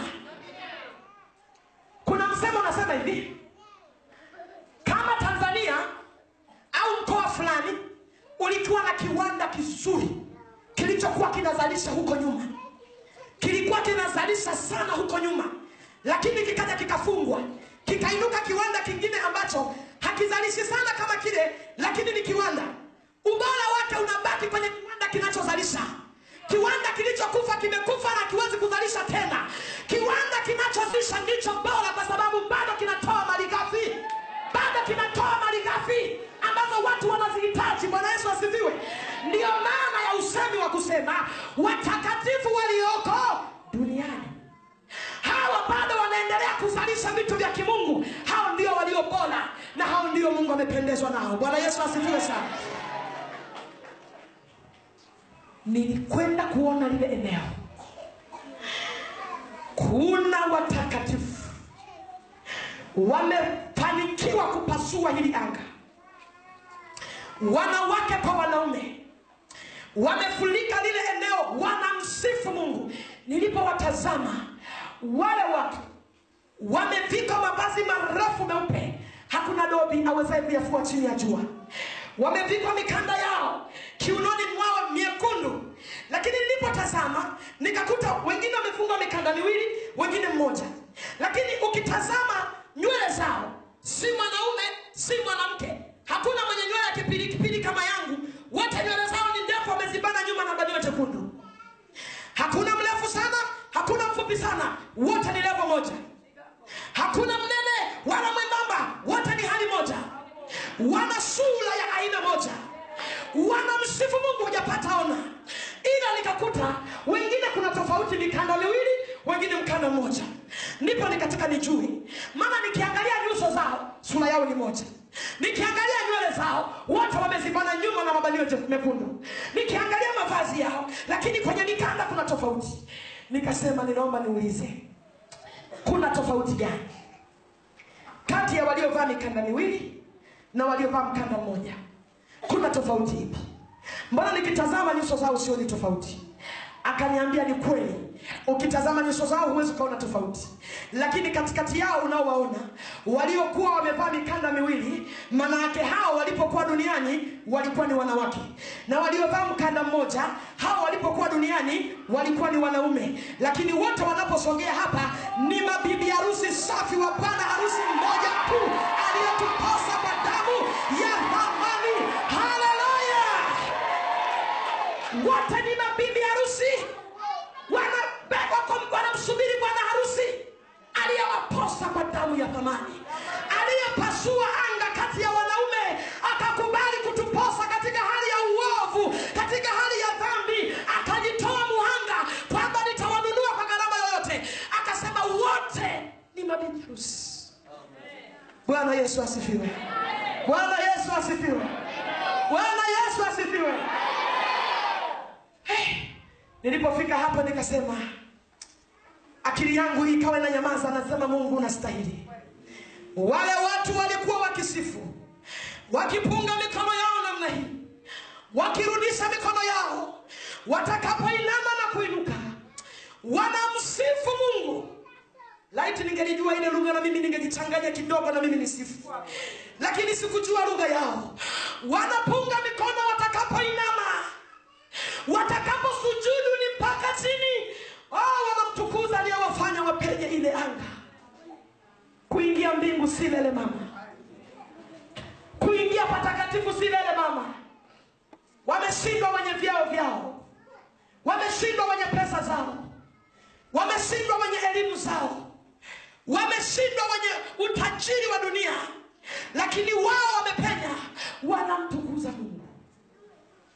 Nikabaki nimesimama lile eneo nikisikiliza namna wanavyoimba akainuka mtu mmoja kwenye lile kundi akawa akija kwetu. Nikamtazama amevaa mikanda miwili. Lakini kwa maelekezo niliyopewa nikajua huyu alivyokuwa duniani alikuwa ni mwanamke. Lakini simjui maana amevikwa mwili wa kule simjui. Sura ya kule imevikwa mimi simjui ni nani.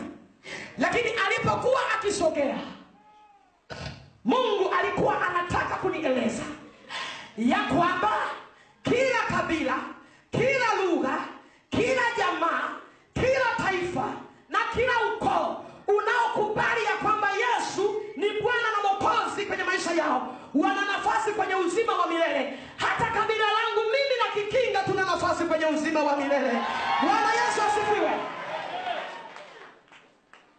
alipokuwa akitokeza yule dada nikakuta sura yake ya dunia nikajifunua ilipojifunua ha ni wifi yangu dada yangu aliolewa kwa kakake na yule binti alikufa akiwa ni binti mwanafunzi familia waliofika mbeya kuna shule moja inaitwa mbeya day. Alikuwa ni mwanafunzi wa shule inayoitwa mbeya day. Yule binti alikufa akiwa katika hali ya usichana lakini akimwogopa mungu. Sikilizeni mabinti. Watu wengi wanasema wokovu ukiwa binti huwezi kusimama. Penye nia pana njia. Ukiwa kijana huwezi kuokoka. Penye nia pana njia. Waliodhamiria kumwona mungu wanamuona hata katika ujana wao. Mungu anayewatunza wazee ndiye anayewatunza vijana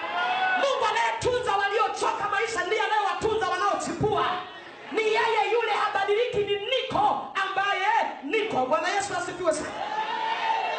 Yule binti pamoja na wanafunzi wake heshima kwa mungu ilikuwepo namba moja. Alikuwa ameokoka na anamwogopa mungu daima.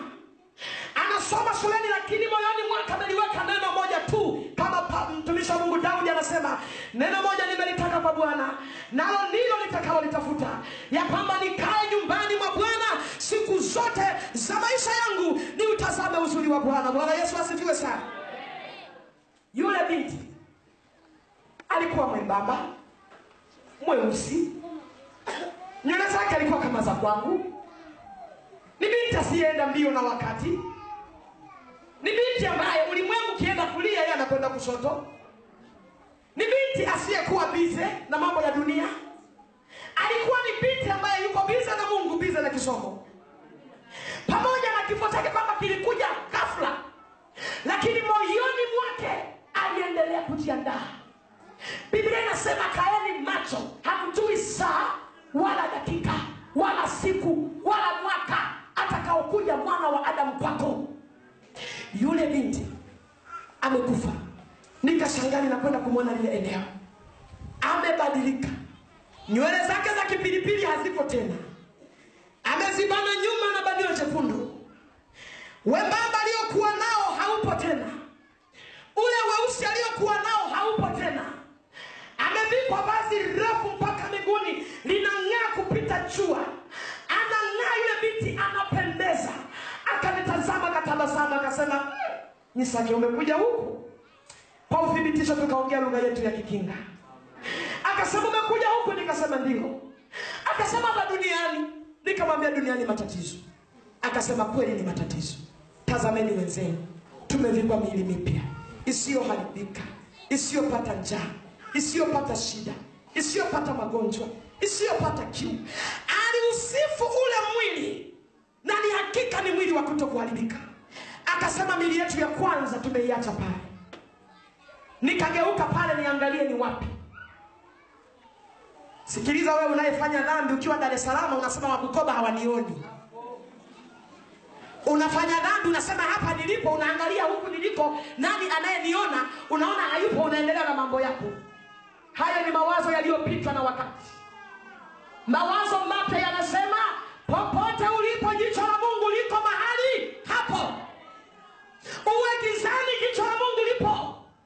Uwe nuruni, jicho la Mungu liko.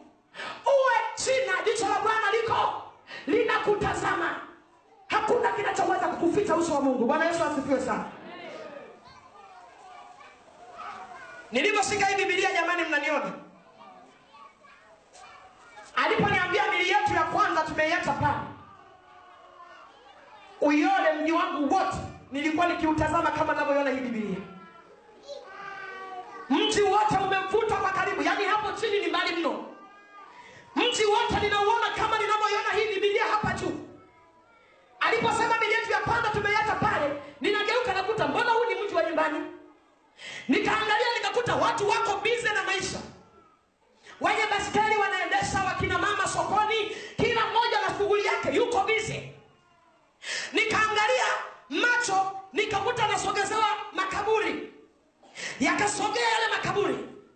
Yaliposogea nikakuta makaburi ya watu yanaonekana na vibao vile vinavyoandikwa vya msalaba, majina yao yanasomeka, ninayasoma nikiwa kule.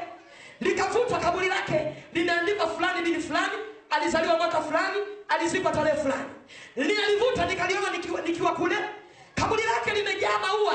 Unajua yeye alikufa mwezi wa nne, kwetu kule kuna kwaga na mvua nyingi sana. Sasa maua yale waliopanda wanafunzi wenzake mataji walioweka juu ya kaburi lake yaliwekwa na maua fulani, sijui jua kama huku yako maua, maua kitenge.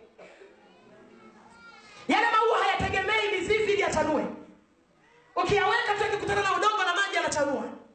Sasa yakawa yameenea kwenye kaburi lake, na yaona maua kitenge yako pale.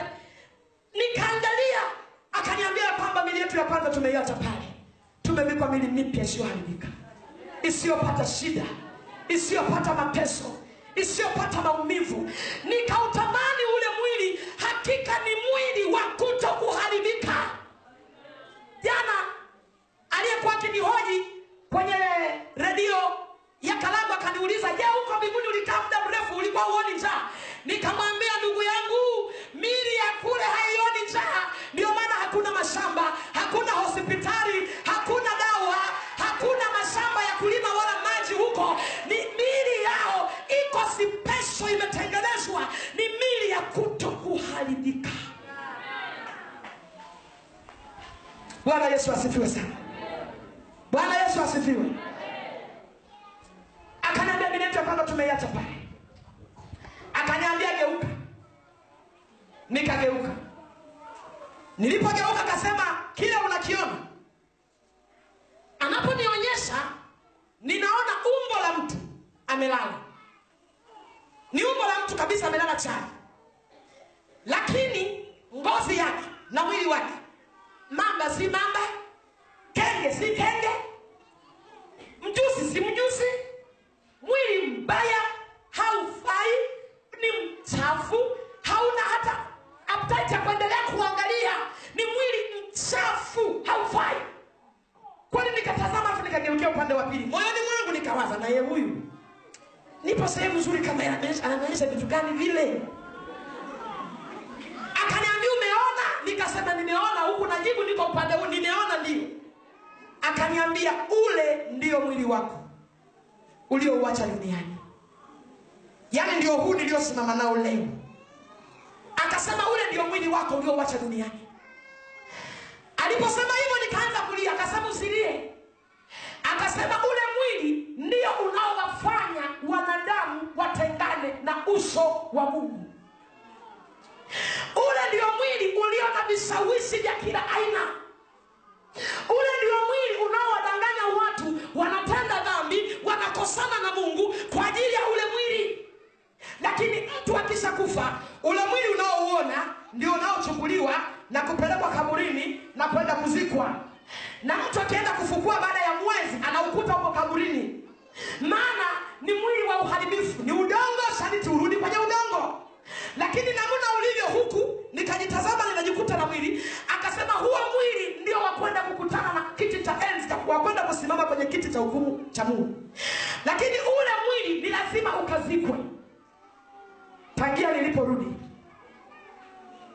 mtu anayejisifia mwili wake kwamba mimi siwezi nikaokoka kwa ajili ya uhandsome mimi ni handsome. Mimi ni beautiful girl. Siwezi nikaokoka. Nikashika bible. Siwezi. Eti nisimame niseme haleluya. Siwezi. Nataka nikwambie laiti mungu angelikufunulia huo mwili ulio nao. Huo mwili wa uharibifu. Mwili huo ni mbaya haufai. Nataka nikwambie mpendwa waliogundua dili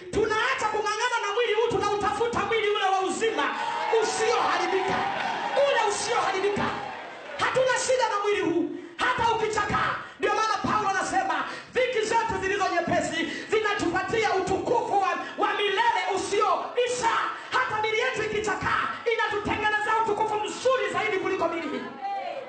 Geuza mawazo. Wazuri ni wale waliong'ang'ana na yesu sasa hivi.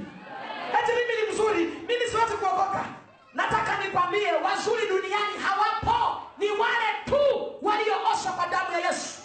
Hao ndio wazuri wa mungu wanaowatambua. Hata mili yao ikiharibika wanapewa mili mingine isiyoharibika. Bwana yesu asifiwe sana. Baada ya hapo akaniambia usilie. Ndiposema usilie akasema geuka tena. Kweli sikupenda kugeuka nilijua naongea na mimi juu ya ule mwizi.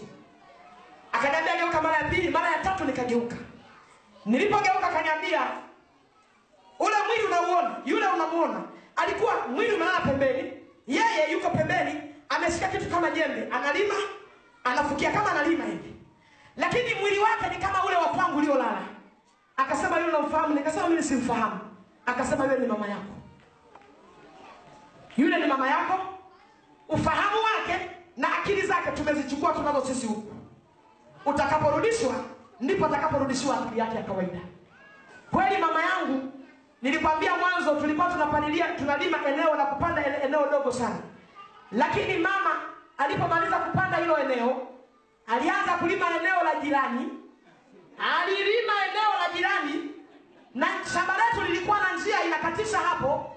Watu wakipita wakimuuliza habari za mtoto majibu watakayowapa watakwenda kujiuliza mbele ya safari.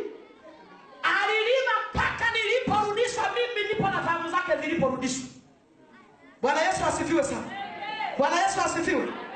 Unajua mungu si mwanadamu. Alijua kwamba akimwachia mama akili atanibugudhi labda angeendelea kunilaza mochwari wakati wakati wa kulala moto mimi ulikuwa baba. Akatoa akili zake. Kila aliyemuuliza ali- alijuana naye huko huko. Bwana yesu asifiwe sana. Alipomaliza kuniambia hicho akasema sasa ninakuomba. Utakapokwenda duniani mwambie baba mama na ndugu zangu wasifanye dhambi. Mbingu hii ni ya watakatifu. Waambie wakaze mwendo hadi wanaofanya matendo wanayofanya hawataingia mbingu. Waambie wageuke wamtafute mungu. Mungu wa kweli. Yule malaika akaniambia kwangu siende kuambia duniani huko kuna wachungaji kuna wainjilisti kuna waliokoka wanahubiri njiri wasipowasikia hao sehemu yao ni katika ziwa la moto liwakalo na kiberiti. Bwana yesu asifiwe sana akatoka yule dada akaingia kwenye kundi lingine akaendelea kuimba. Nikaletewa mtu mwingine amevaa mshipi mmoja. Huyu baba alipokuwa akija sikumtambua mara ya kwanza mpaka sura yake ilipofunuliwa kwangu. Alipofunuliwa nikakuta mm, kumbe ni baba yangu mmoja ambaye ni baba wa maeneo ya nyumbani, ndiye alikuwa akitufundisha imani tulipokuwa wadogo. Yule baba duniani alikuwa ni mzee, kichwa chake chote ni mvi tupu, mgongo wake umejikuta pamoja na uzee alio nao, fahari yake ilikuwa ni kwenye jina la Bwana. Yeye alikuwa na kasumba moja, hata akienda shambani anafika, anaomba, anasoma neno. Mungu alimwachia uwezo wa kusoma mpaka uzeeni. Anasoma neno, anaomba, anaendelea kulima. Akipumzika ni kwenye neno, ni kwenye kusoma Biblia na kuomba. Sasa watu waliokuwa wakimuona yule mzee katika mazingira yale wanasema, unaona sasa, tunaposema walokole wamechanganyikiwa, hawana akili, wanatembea na Biblia mashambani. Nani anasema wanatembea na Biblia mashambani? Kumbe mwenzao alikuwa hajachanganyikiwa, ila alikuwa akitafuta namna ya kupenya hiyo mbingu. Alijitengenezea utaratibu wa kwake wa kumtafuta Mungu wa kwake binafsi. Bwana Yesu asifiwe sana. Yule baba alikufa katika uzee mwema, lakini duniani nimesema alikuwa mgongo amejikunja, mbi kichwani. Nilipokwenda kumkuta kule, kile kichwa cha mbi chote hakipo, mgongo uliojikunja haupo tena, makunyanzi ya sura hayapo tena. Nikakuta nywele zake amezibana nyuma na bandio jekundu, amevikwa. Mwili wake ni kama kijana wa miaka ishirini hivi, amevaa vazi refu kwanzia miguuni, kichwani mpaka miguuni, amefungwa mshipi mwekundu kiunoni mwake, anapendeza.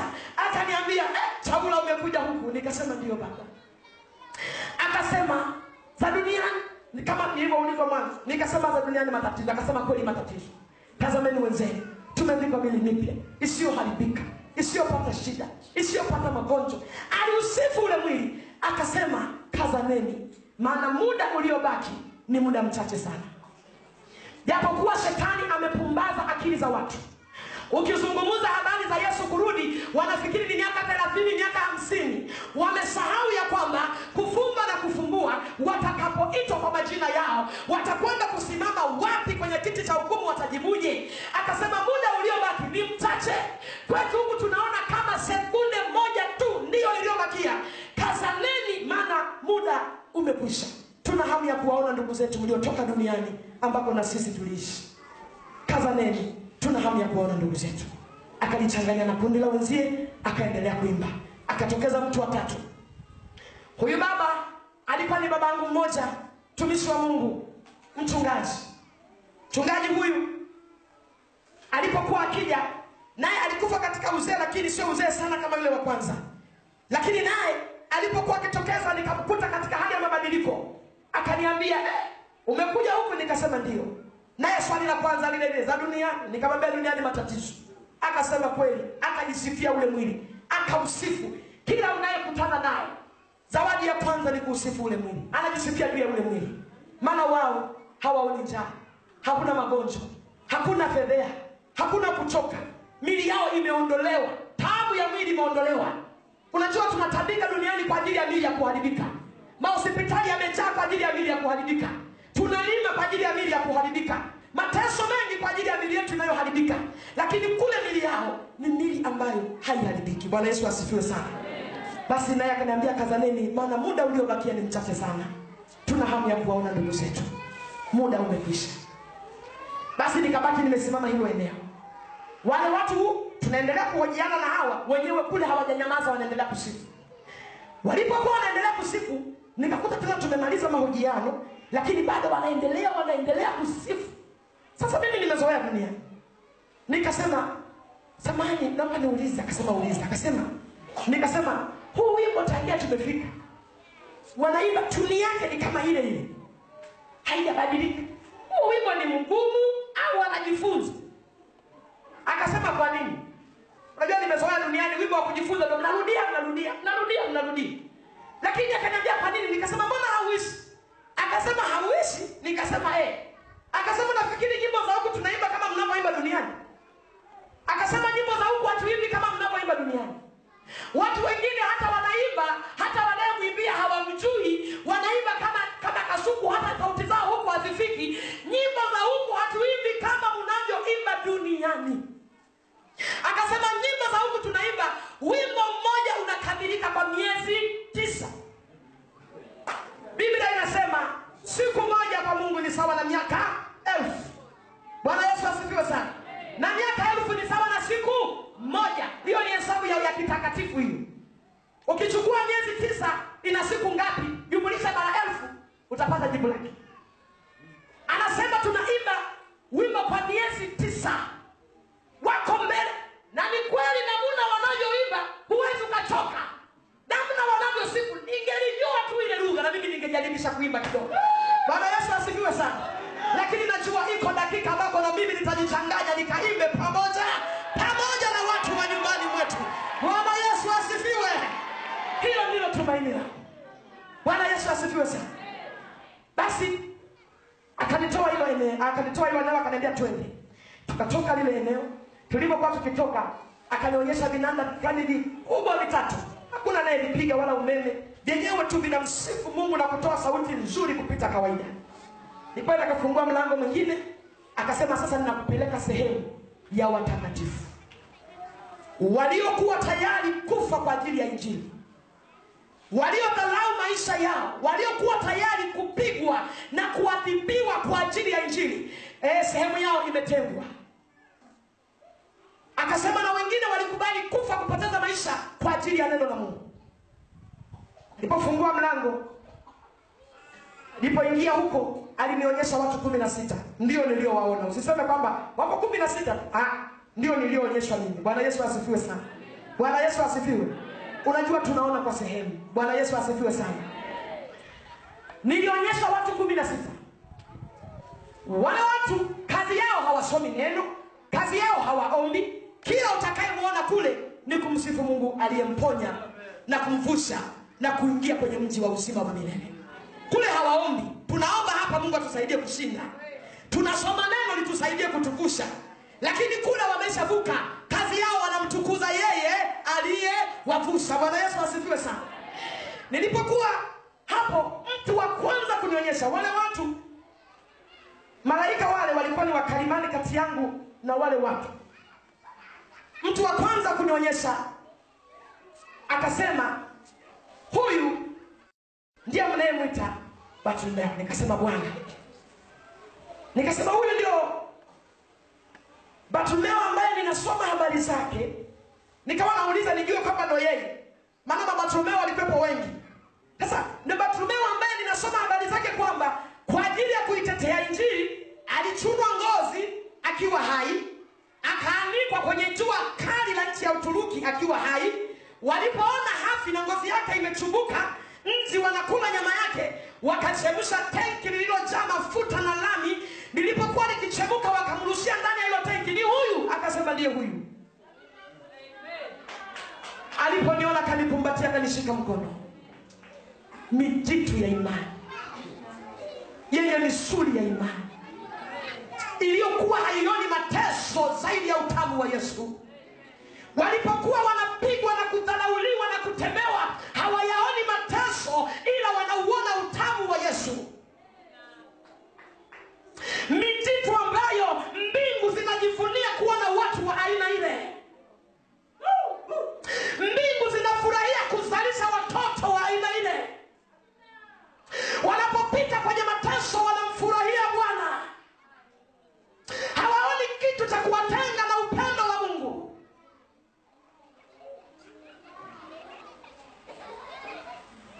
mungu atusaidie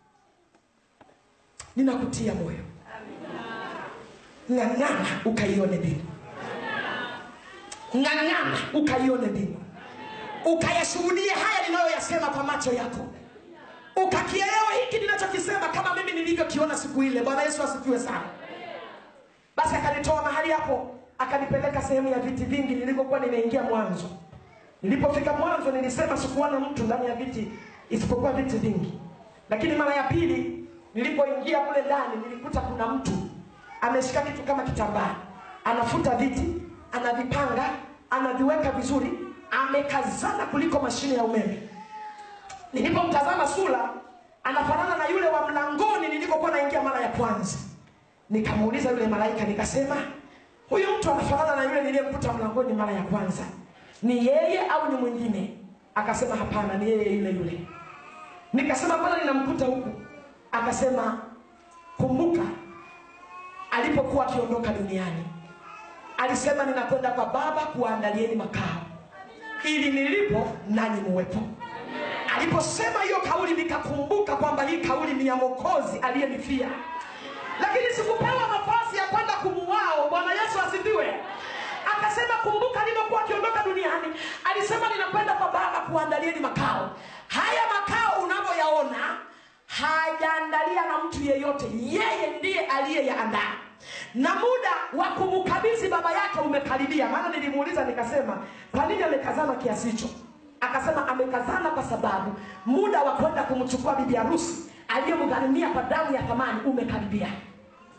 Anataka huyo bibi harusi akifika akute kila kitu kimekwisha kuwekwa sawa. Bwana yesu asifiwe sana biblia inasema atakapotukaribisha mahali pale alipopatengeneza ndipo atakapokwenda kwa baba kusema baba kazi ulionituma nimekamilisha. Huyu ndiyo bibi harusi ulionituma nikamnunue kwa damu ya thamani. Ndipo atakapokabidhi madaraka kwa baba yake. Bwana yesu asifiwe sana. Lakini sasa hivi hajakabidhi kwa maana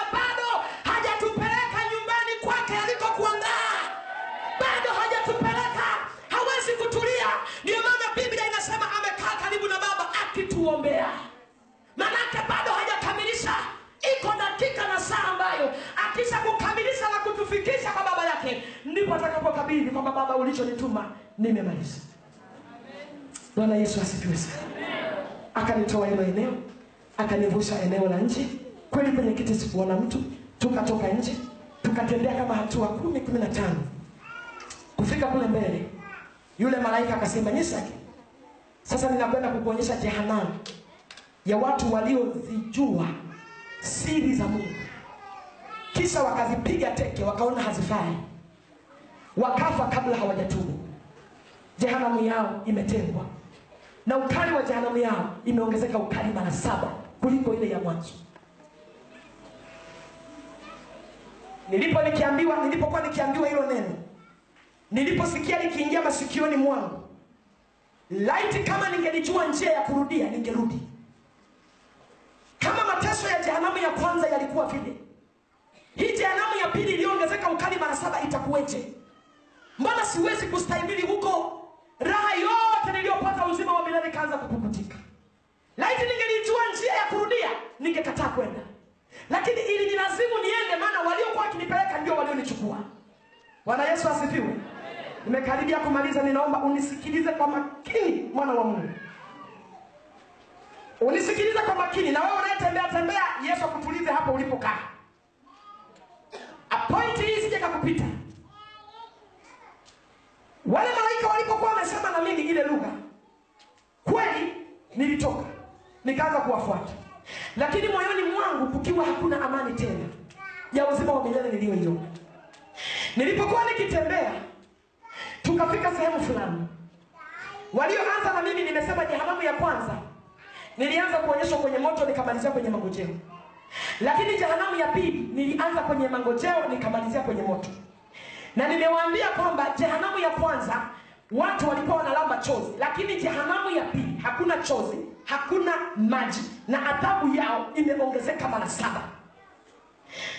Nilipokuwa nikienda yule malaika akanirudia tena akasema ninakupeleka tu kwenye jehanamu ya watu waliozijua. Ni watanzania tunajua kiswahili. Kuna tofauti kati ya neno kufahamu na kujua. Ni maneno mawili yanayokaribiana lakini yana tofauti. Anayejua ni zaidi ya yule anayefahamu. Hawa watu walizijua siri za mungu kama ni vitu vya uvunguni kwa mungu kwenye meza ya mungu uvunguni walivijua, walijua hazina ya mungu ilivyo walijua. Baadaye wakaona haifai wakapiga teke wakarudia dhambi yao ya kwanza wakafa katika dhambi kabla hawajatubu.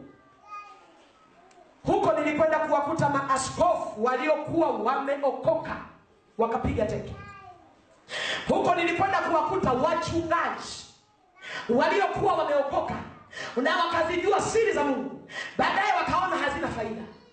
Nikawakuta watu waliokuwa wameokoka na kuzijua siri za mungu halafu wamezipiga teke na wamekufa katika hali ya kutokurudia toba ya mungu. Jehanamu yao imetengwa na ukali wao imeongezeka ukali mara saba. Nilipokuwa nikifika kule kwenye yale mangojeo nilipata kukuta watu. Wako kwenye lile bonde. Wale watu ni wengi. Lile eneo lina giza. Tulipofika giza lile likaondoka nikaona umati wa watu ulio mwingi. Wale watu wanalia. Wale watu wanalia. Wanalia hakuna amani naomba nisikilize mpendo kwa umakini. Nilipokuwa nimesimama lile eneo aliinuka mtu wa kwanza ndani ya lile shimo. Akasema bwana yani hata anaposema ni kama anakoloma. Sauti yake hai- haieleweki. Amechoka na kulia mwili wake umechoka. Laiti wangelijua kama laiti wakungelikuwa na kifo mahali pale watu wote wangeliweza kujiua ili waepukane na ile tabu wanayoipata. Lakini mauti imekamatwa kwenye mikono ya mungu. Mtu wa kwanza aliinuka akasema bwana tunaomba mtume mtumishi wako atuchovye tone moja tu la maji. Ninaona kiu. Naomba mtume mtumishi wako anichovie tone moja la maji. Ninaona kiu. Niliposikia ile kauli nikakumbuka duniani. Ndugu yangu uko duniani na mimi niko duniani. Ukiwa na kiu nikiwa na kiu. Mtu akikupa kijiko kimoja cha chakula maji ya kunywa. Vipi yanaweza yakakata kiu? Lakini ndani ya kile kijiko kuna matone mangapi yameingia ya maji? Hatimaye akasababisha ujazo wa kile kijiko. Wale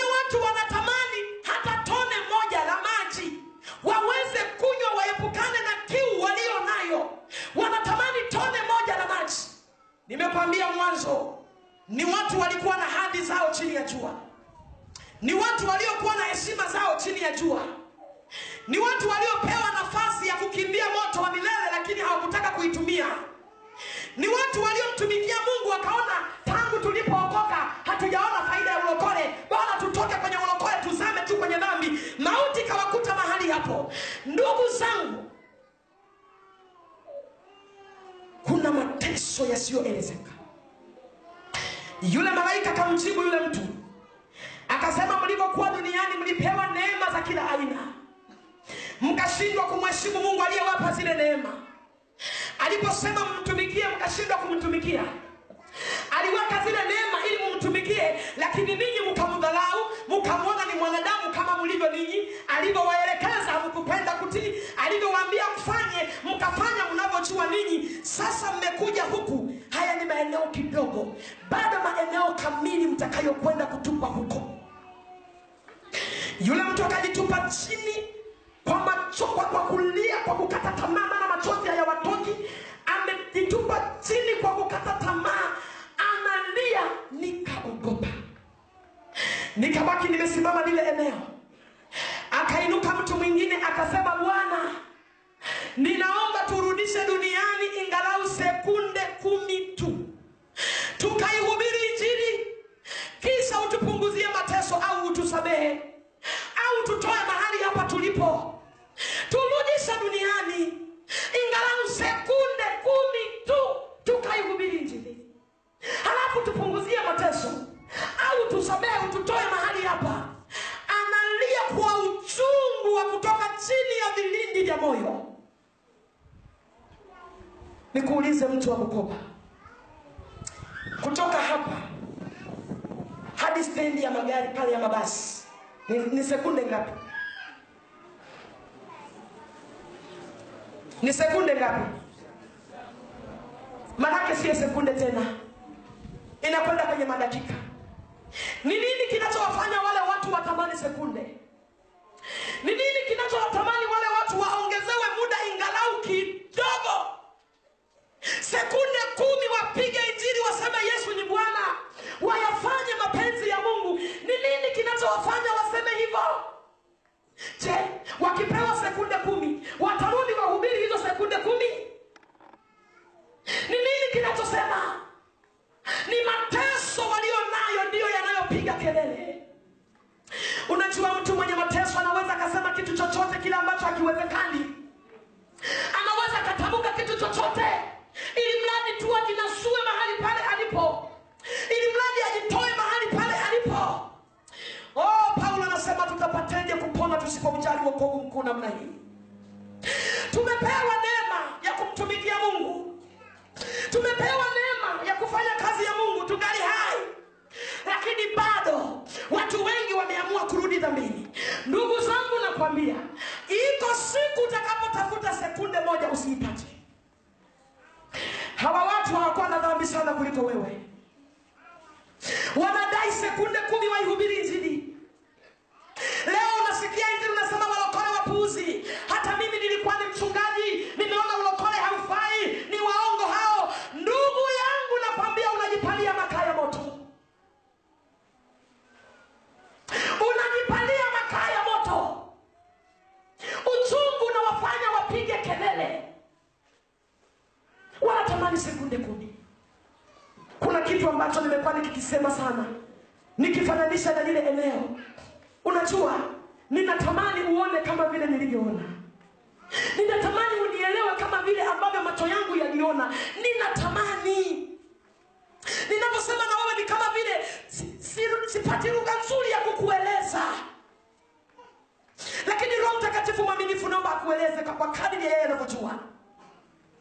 Nimekuwa nikifananisha mfano na kitu kimoja. Mimi ni mwanamke nimekuwa nikitoa mfano hata kama haufai sana, lakini unakueleza namna gani uchungu wa wale watu unaowafanya wapige kelele.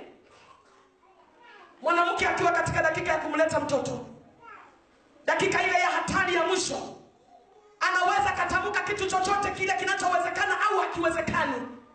Siku moja nilikuwa hospitali, nikasikia mwanamke mmoja akiwa katika uchungu wa mwisho, akapiga kelele akasema, nesi, naomba nisaidie nisaidie nesi, nikijifungua nesi nitakununulia gari, nisaidie.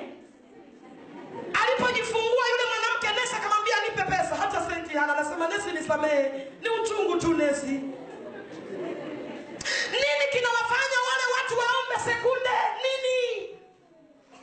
Uchungu umekamata nafsi zao, wakitazama ni uchungu usio na mwisho, wakitazama ni uchungu usiokuwa na kifo.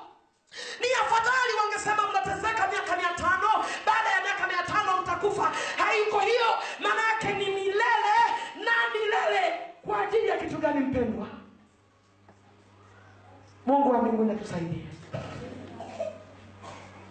Yule malaika akamjibu akasema, mlipokuwa duniani mlipewa muda mwingi sana wa kuweza kuhubiri Injili, hata shetani angelikosa watu wa kumsindikiza lakini mlichukua ule muda mkaona ni muda wa kuchezea, mlichukua ule muda mkaona ni muda wa kuenjoy maisha, mkasahau kazi niliyowatuma, mkaipuuza na kuifanya ni kitu kisichofaa.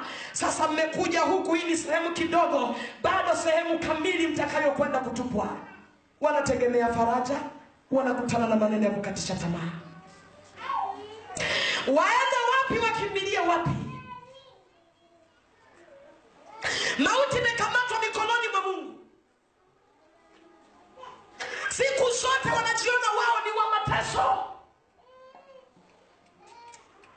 Alipojibu yule malaika, yule mtu akajitupa chini kwa uchungu, akalia kwa uchungu usioelezeka. Alipokuwa amejitupa chini, nikabaki nimesimama lile eneo. Pia lile eneo nilikutana na watu wengine ambao hawa watu wanasimama katikati ya watu wengi wamepewa neema wamepewa heshima ya kuongea na watu kwa habari ya maneno ya mungu. Wakifika kuongea na watu juu ya maneno ya mungu wanahubiri yani niseme ni wachungaji ambao wanafika katikati ya kanisa. Badala ya kuwaonyesha watu njia wanazungumza maneno ya kwamba wokovu haupo. Mbingu tunaingia kwa neema. Huwezi ukashinda dhambi. Dhambi ukashinda. Tutaingia tu kwa neema hakuna anayeweza kuokoka duniani. Ni wachungaji lakini wanazungumza maneno kama haya.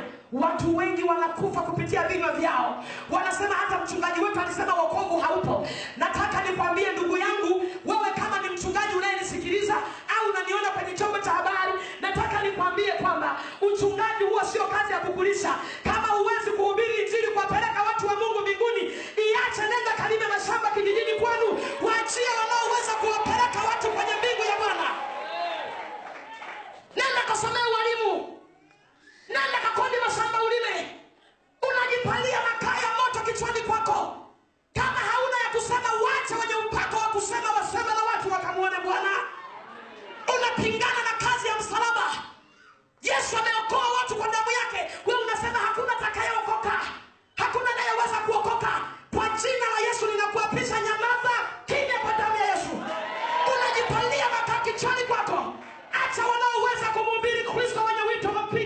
wapige watu waende mbinguni. Nikawakuta hilo eneo. Baada ya hapo nikabaki nimesimama lile sehemu. Nikasikia sauti ya vigelegele. Inapigwa sauti ya vigelegele ng'ambo. Kulikuwa na kitu kimetenganisha kama ukuta unavyoweza kutenganisha ndani na nje. Kulikuwa na kitu kimetenganishwa kati ya, ya sehemu ya mangojeo na hiyo sehemu ya moto nikasikia mtu anapiga vigelegele kwa sauti ya furaha mno. Nikashituka nikasema samani amba niuliza akaniambia uliza. Nikasema huyo anayepiga vigelegele ni nani? Kuna watu wanatupa huko akasema jisake tumekwambia jehanamu ya moto hakuna mtu aliyetupa hata mmoja. Na hakuna mtu anayepiga vigelegele huko. Nikasema sasa ni nini? Akasema hivyo ni vituko vya moto. Moto unafurahia kusubiri kupa, unafurahia ku, siku zinaposogea za kukabidhiwa mwanadamu. Moto unapiga vigelegele kusubiri kumpokea mwanadamu. Mwanadamu uliyefanywa kwa sura ya mungu. Mwanadamu uliyeishi chini ya ulimwengu wa neema. Akasema vigelegele vinapigwa na moto. Unafurahia kumkaribia mwanadamu kumpokea nikasikia tena mtu analia kwa uchungu mno. Nikashtuka. Nikasema je huyo mtu ametupwa kwa nayelia akasema jinsi kesikia, tumekwambia jehanamu ya pili imeongezeka ukali mara saba. Hivyo ni vituko vya moto. Hawa watu wa ng'ambo hii wanavisikia. Vigelegele vinavyopigwa na moto wanavisikia. Vituko vinavyotolewa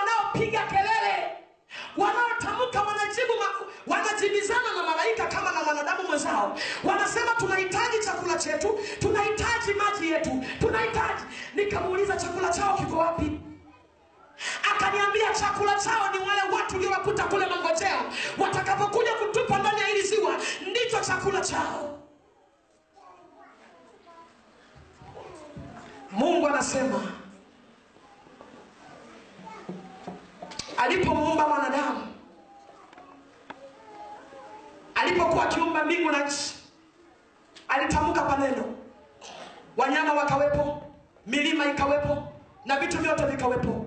Lakini alipofika kwenye kumuumba mwanadamu hakutumia neno, alifinyanga kwa mikono yake.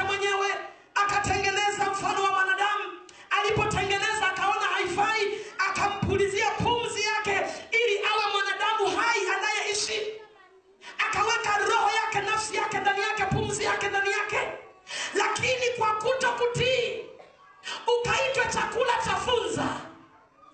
Kwa kuto kutii ukaitwa chakula cha funza. Neno moja kwenye Biblia inasema Yoshua alisimama mbele ya wana wa Israeli akasema, mbele yenu kumewekwa vitu viwili, kuna laana, kuna baraka, kuna mauti na kuna uzima.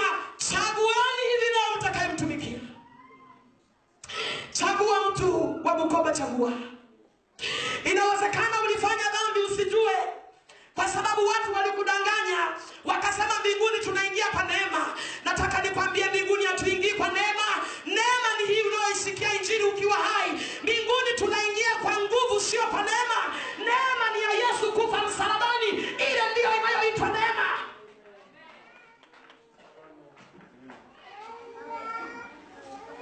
Takuwa siku zote umekuwa ukisikia neno la mungu lakini kwa ajili ya kiburi ukaita chakula cha funza yamewekwa mbele zako. Mungu kunichukua mimi hakunipeleka kujifurahisha alinichukua ili nije nikwambie mpendwa. Inawezekana ulimwabudu mungu kwa ulegevu ukifikiri kwamba mungu anapokea wenye michanganyo.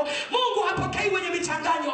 Uliendelea kufanya dhambi kwa sababu rafiki zako walikwambia kwamba kuokoka ni pale utakapokufa. Leo ninakwambia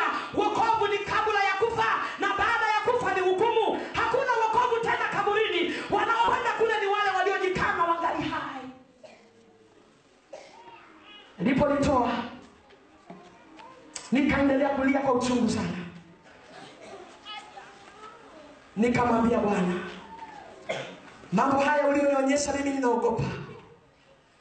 Nikienda kuambia watu watasema mimi nimetunga kwa akili zangu hawataelewa. Na wataongezewa hukumu kwao kwamba niliwatuma na mtu aliyetoka huku hamkumsikia sasa yesu ili watu hawa watuamini waweze kuyaamini niliyoyasema ninaomba uende tanzania uchukue watu kumi uende uganda uchukue watu kumi uende kenya uchukue watu kumi na nchi zote zilizoko chini ya jua uchukue watu kumi kumi tu waje wayaone haya. Halafu warudi wawaambie watu. Wa, labda kwa ajili ya wingi wa watu wakasema hata mwingine labda mkoa fulani alisema hata mwingine sehemu fulani alisema inawezekana mambo haya ni ya kweli. Labda wataamini lakini nikiwa peke yangu mimi hawataniamini. Akasema jisake sikiliza wanadamu ni wenye mioyo migumu. Hata angerudi yesu mwenyewe wasingeliweza kumwamini. Hata angerudi yesu mwenyewe wasingeliweza kumwamini. Ugumu wa moyo wako unaujua wewe. Mara ngapi umesikia sauti ya mungu? Mara nyingine mungu amesema nawe hata katika ndoto. Unaota ndoto unaogopa. Utakapoamuka unajiona ni hali ya kawaida. Ugumu wa moyo unauelewa wewe. Lakini jioni ya leo ni ombi langu kwa mungu usikie sauti hii sikia sauti hii kupanye kwa ajili ya faida yako mwenyewe. Nilipokuwa nime- nimesimama maeneo yale ninaendelea kulia. Yule malaika akaniambia sasa twende akanitoa hilo eneo. Akanipeleka eneo jingine. Liponipeleka eneo jingine akasema nyisake kwa macho yako umeona kwa masikio yako umesikia na kwenye moyo wako tumeyatunza. Nenda kawaambie watu mambo hayo uliyoyaona. Yamkini yuko mmoja atakayesikia na kugeuka nafsi ya mtu mmoja ina thamani sana kwenye kiti cha enzi. Nenda kawaambie nikasema bwana ninaogopa. Nisije nikakutenda dhambi. Ninaogopa. Ninaomba unipeleke sehemu ya malaika wanaoimba. Akasema hapana tumekuchukua makusudi ya mungu kwamba uyaone haya halafu urudi ukawaambie ndugu zako. Sasa basi nenda kawaambie ndugu zako mambo uliyoyaona nilipokuwa nikiendelea sana kukataa nilipokuwa nikiendelea sana kulia maana nikawa naogopa kwamba nikirudi ninaweza nikamkosa mungu nikaingia mahali pale ambapo hapafai akaniambia kwamba rudi. Ndipo malaika mmoja kati ya wale wawili akaligusa bega langu la kulia. Aliponigusa kwa, kidole chake nikashangaa nimerudi niko duniani. Na mahali pale alipokuwa amenigusa aliniachia alama lakini alama hii mlio mbali hamwezi mkaiona. Alama hii aliponigusa hiki ni kidole cha yule malaika aliyekuwa amenigusa. Alipokuwa amenigusa nikajikuta nimeamka nimeshikilia hiki kidole nakuta nina alama mahali pale alipokuwa amenigusa. Bwana yesu asifiwe sana. Bwana yesu asifiwe. Bwana yesu asifiwe.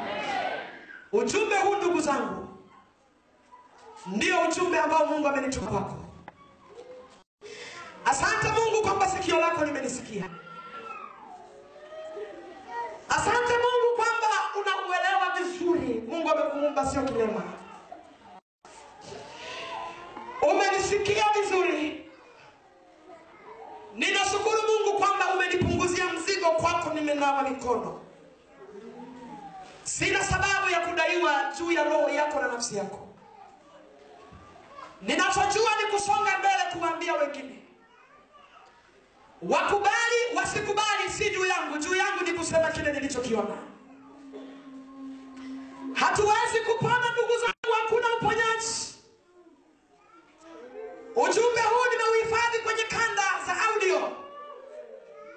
Na ujumbe huu kwambia kesho utapatikana kwenye cd ya kuonyesha picha kama unavyoniona leo. Na hizi cd zitapatikana kwa mama mchungaji hapo utakuja utanunua kwa shilingi elfu tano. Ninakuomba ndugu zangu kanda ya audio inapatikana kwa elfu mbili.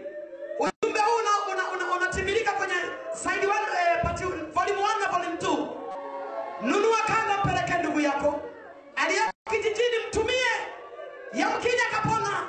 Siwezi nikatembea tanzania nzima nikamaliza. Lakini naomba unisaidie. Unaponunua kanda nisaidie kupeleka isiwe mali yako nisaidie mpendwa, nina mzigo mzito, siwezi kupeleka kwa Watanzania wote. Unaponunua CD naomba isiwe mali yako, peleka kwa mwingine asikie, yamkini akapona na hatari kubwa inayokuja. Kanda hizi zitapatikana kwa mchungaji, kanda hii ya CD ya picha unayoniona itapatikana kwa mchungaji, na wale wanaotaka audio zinapatikana hapo nje. Ninaomba utanunua na ningelikuwa ni tajiri bilionea wa pesa, nisingeliuza kanga hizi, ningeligawa kwa watu bure wasikie, lakini zinauzwa ili nipate na pesa nyingine ya kuzalisha vitu vingine. Hatuwezi kupona, hatuna kimbilio lingine zaidi ya Yesu Kristo. Walioko mahali pale ni watakatifu, ndio walioko. Hakuna wenye dini walioko mahali hapo, hakuna wenye hali ya kawaida. Ndugu zangu, ni waliookolewa na damu ya Yesu pekee ndio wanaogusa mahali hapo. Una nafasi ya kumtafuta Mungu ngali hai, una nafasi ya kutafuta msamaha ngali hai. Huwezi kutubu baada ya kufa kwako, huwezi kutubu baada ya kuingia kaburini.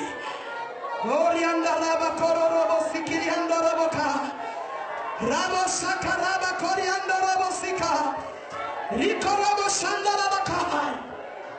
Ninaomba usimame mahali ulipo, simama mahali ulipo sasa.